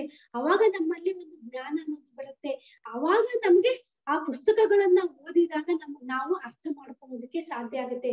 ಯಾವುದೋ ಒಂದು ಪುಸ್ತಕ ಇರ್ಲಿ, ನಾವು ಒಂದು ಧ್ಯಾನ ಸಾಧನೆ ಜಾಸ್ತಿ ಮಾಡ್ತಾ ಸಜ್ಜನ ಸಾಂಗತ್ಯ ಜಾಸ್ತಿ ಕೇಳಿದಾಗ ಮಾತ್ರ ನಮಗೆ ಆ ಪುಸ್ತಕಗಳು ಧ್ಯಾನ ಮಾಡದೇ ಇರುವಾಗ ಯಾವ ರೀತಿ ಅರ್ಥ ಆಗಿದೆಯೋ, ಧ್ಯಾನ ಸಾಧನೆ ಜಾಸ್ತಿ ಮಾಡಿದಾಗ ನಾವು ಎಲ್ಲವನ್ನ ಗ್ರಹಿಸುವ ಶಕ್ತಿ ನಮ್ಮಲ್ಲಿ ಯಾವಾಗ ಜಾಸ್ತಿ ಆಗುತ್ತೋ ಅವಾಗ ಅರ್ಥ ಆಗುವ ರೀತಿನೇ ನಮ್ಗೆ ಬೇರೆ ಇರುತ್ತೆ. ಈ ರೀತಿಯಾಗಿ ನಾವು ಎಲ್ಲ ಸಜ್ಜನ ಸಾಂಗತೆ ಎಷ್ಟು ನಮ್ಗೆ ಇವಾಗ ತೃಪ್ತಿ ಆಗುತ್ತೆ ಅಂತಂದ್ರೆ ಏನ, ಬೇರೆ ಯಾರನ್ನು, ಅಯ್ಯೋ ನನ್ಗೆ ಕಿಟ್ಟಿ ಪಾರ್ಟಿಗೆ ಹೋಗೋದಕ್ಕೆ ಸಾ, ಆಗ್ತಾ ಇಲ್ಲ, ಸಿನಿಮಾಕ್ಕೆ ಹೋಗ್ತಾ ಇಲ್ಲ ಮಾಲ್ಗಳಿಗೆ ಹೋಗ್ತಾ ಇಲ್ಲ ಅಂತ ಎಷ್ಟೋ ಜನ ಬೇಜಾರ್ ಮಾಡ್ಕೊಂತ ಮನೆಯಲ್ಲಿ ಕೂತ್ಕೊಂಡಿದ್ದಾರೆ. ಆದ್ರೆ ಇವತ್ತಿನ ದಿವಸ ಪಿರಮಿಡ್ ಮಾಸ್ಟರ್ಸ್ ಗಳಿಗೆ ಪುಸ್ತಕನದೇ ಇಲ್ಲ. ಅವ್ರಿಗೆ ಅವ್ರು ಯಾವಾಗ್ಲೂ ಟಿವಿ ನೋಡೋದಿಲ್ಲ ಕರೆಕ್ಟ್ ಆದ್ರೆ ಮನೆಯಲ್ಲಿ ಬೇಕಾಗಿರುವಂತ ರುಚಿ ರುಚಿಯಾದ ಅಡಿಗೆ ಮಾಡ್ಕೊಂಡು ತಿನ್ನೋದಕ್ಕೂ ಸಹಿತ ಸಮಯ ಇಲ್ಲ ಅವ್ರಿಗೆ. ಯಾಕೆಂದ್ರೆ ಕ್ಲಾಸ್ಗಳು ಹೇಳ್ಬೇಕು ಅಂದ್ರೆ ಎಷ್ಟು ನಮ್ಮ ಸಮಯವನ್ನ ಅಲ್ಲಿ ಇಡ್ಬೇಕಾಗುತ್ತೆ. ಆ ಸಮಯವನ್ನ ಇಟ್ಟಾಗ ನಾವು ಅವಾಗ ಹನ್ನೊಂದು ದಿವಸ ಮಾತ್ರ ಧ್ಯಾನ ಚಕ್ರಗಳಿಗೆ ಹೋಗ್ತಾ ಇದ್ವಿ. ಆದ್ರೆ ಇವಾಗ ಈ ಒಂದು ಲಾಕ್ ಡೌನ್ ಪೀರಿಯಡ್ ಈ ಕರೋನಾ ಬಂದಾಗಿನಿಂದ ನಮಗೆ ದಿನಾನು ಮನೆಯಲ್ಲಿ ಧ್ಯಾನ ಮಹಾಚಕ್ರನೇ ನಡೀತಾ ಇದೆ ಅಂತ ನಾನು ಹೇಳೋದಕ್ಕೆ ಇಷ್ಟಪಡ್ತಾ ಇದ್ದೀನಿ. ಮೇಡಮ್ ಸಮಯ ಆಯ್ತಾ? ನಾವು ಈ ರೀತಿಯಾಗಿ ಎಲ್ಲವಷ್ಟು ನಾವು ಉಪಯೋಗಿಸ್ಕೊಳೋದಕ್ಕೆ ಸಾಧ್ಯ ಆಗುತ್ತೆ. ನಮಗೆ ಸಜ್ಜನ ಸಾಂಗತೆ ನಾವು ಏನೋ ಅನ್ಕೊಂತೀವಿ. ಇದು ನಮ್ಮ ಜೀವನಕ್ಕೆ ಅಲ್ಲ, ನಾವು ಇನ್ನ ಈ ಒಂದು ಸಣ್ಣ ವಯಸ್ಸಿನಲ್ಲೇ ಇಂಥವೆಲ್ಲ ನಾವು ಕೇಳೋದು ಅಲ್ಲ ಅಂತ. ನನಗೆ ಮೊದಲಿನಿಂದನೂ ಒಂದು ಪ್ರವಚನ ಆಗಿರ್ಬೋದು. ಶ್ರಾವಣ ಮಾಸದಾಗ, ಆ, ಒಂದು ತಿಂಗಳು ಪ್ರವಚನ ಇಡ್ತಾ ಇದ್ರು. ಆಮೇಲೆ ದಸರಾ ಹಬ್ಬದಲ್ಲಿನೂ ಒಂದು ವಾರ, ಹನ್ನೊಂದು ದಿವಸ ಪ್ರವಚನ ಇಡ್ತಿದ್ರು. ಎಲ್ಲಿ ನಡೆಯುತ್ತೆ ಅಂದ್ರೆ ಸಣ್ಣ ಒಂದು ಹನ್ನೊಂದು ವರ್ಷ, ಹನ್ನೆರಡು ವರ್ಷದಿಂದನೇ ಈ ರೀತಿಯಾಗಿ ನಾನು ಕೇಳೋದಕ್ಕೆ, ಹೋಗೋದಕ್ಕೆ ಶುರು ಮಾಡ್ತಾ ಇದ್ದೆ. ಅಲ್ಲಿಂದನೇ ನನ್ಗೆ ಒಳಗಡೆ ತಪನ ಇರ್ತಾ ಇತ್ತು. ಫಸ್ಟಿಗೆ ನಾನು ಭಗವದ್ಗೀತೆ ಕೇಳಿದೆ. ಹನ್ನೊಂದು ದಿವಸ ಹೋಗಿದ್ದೀನಿ. ಆದ್ರೆ ನನ್ಗೆ ಒಂದು ವಿಷಯನೂ ನನ್ಗೆ ಅರ್ಥ ಆಗಿಲ್ಲ. ಆದ್ರೆ ನನ್ನೊಳಗೆ ತಪನ ಇತ್ತು. ಅದಕ್ಕೋಸ್ಕರ ಅದು ಅರ್ಥ ಆಗಿಲ್ಲ ಅಂದ್ರೂ ಮತ್ತೆ ಎಲ್ಲಿ ಭಗವದ್ಗೀತೆ ಇಡ್ತಾರೋ ಮತ್ತೆ ಹೋಗ್ತಾ ಇದ್ದೆ. ಅವಾಗ ನನಗೆ ಸಣ್ಣ ಮಕ್ಕಳು ಇರ್ತಾ ಇದ್ರು. ಆ ಸಣ್ಣ ಮಕ್ಕಳನ್ನ ಪಕ್ಕದಲ್ಲಿ ಆಟ ಆಡೋದಕ್ಕೆ ಬಿಟ್ಟು ನಾನು ಅಲ್ಲಿ ಕೂಡ್ತಾ ಇದ್ದೆ.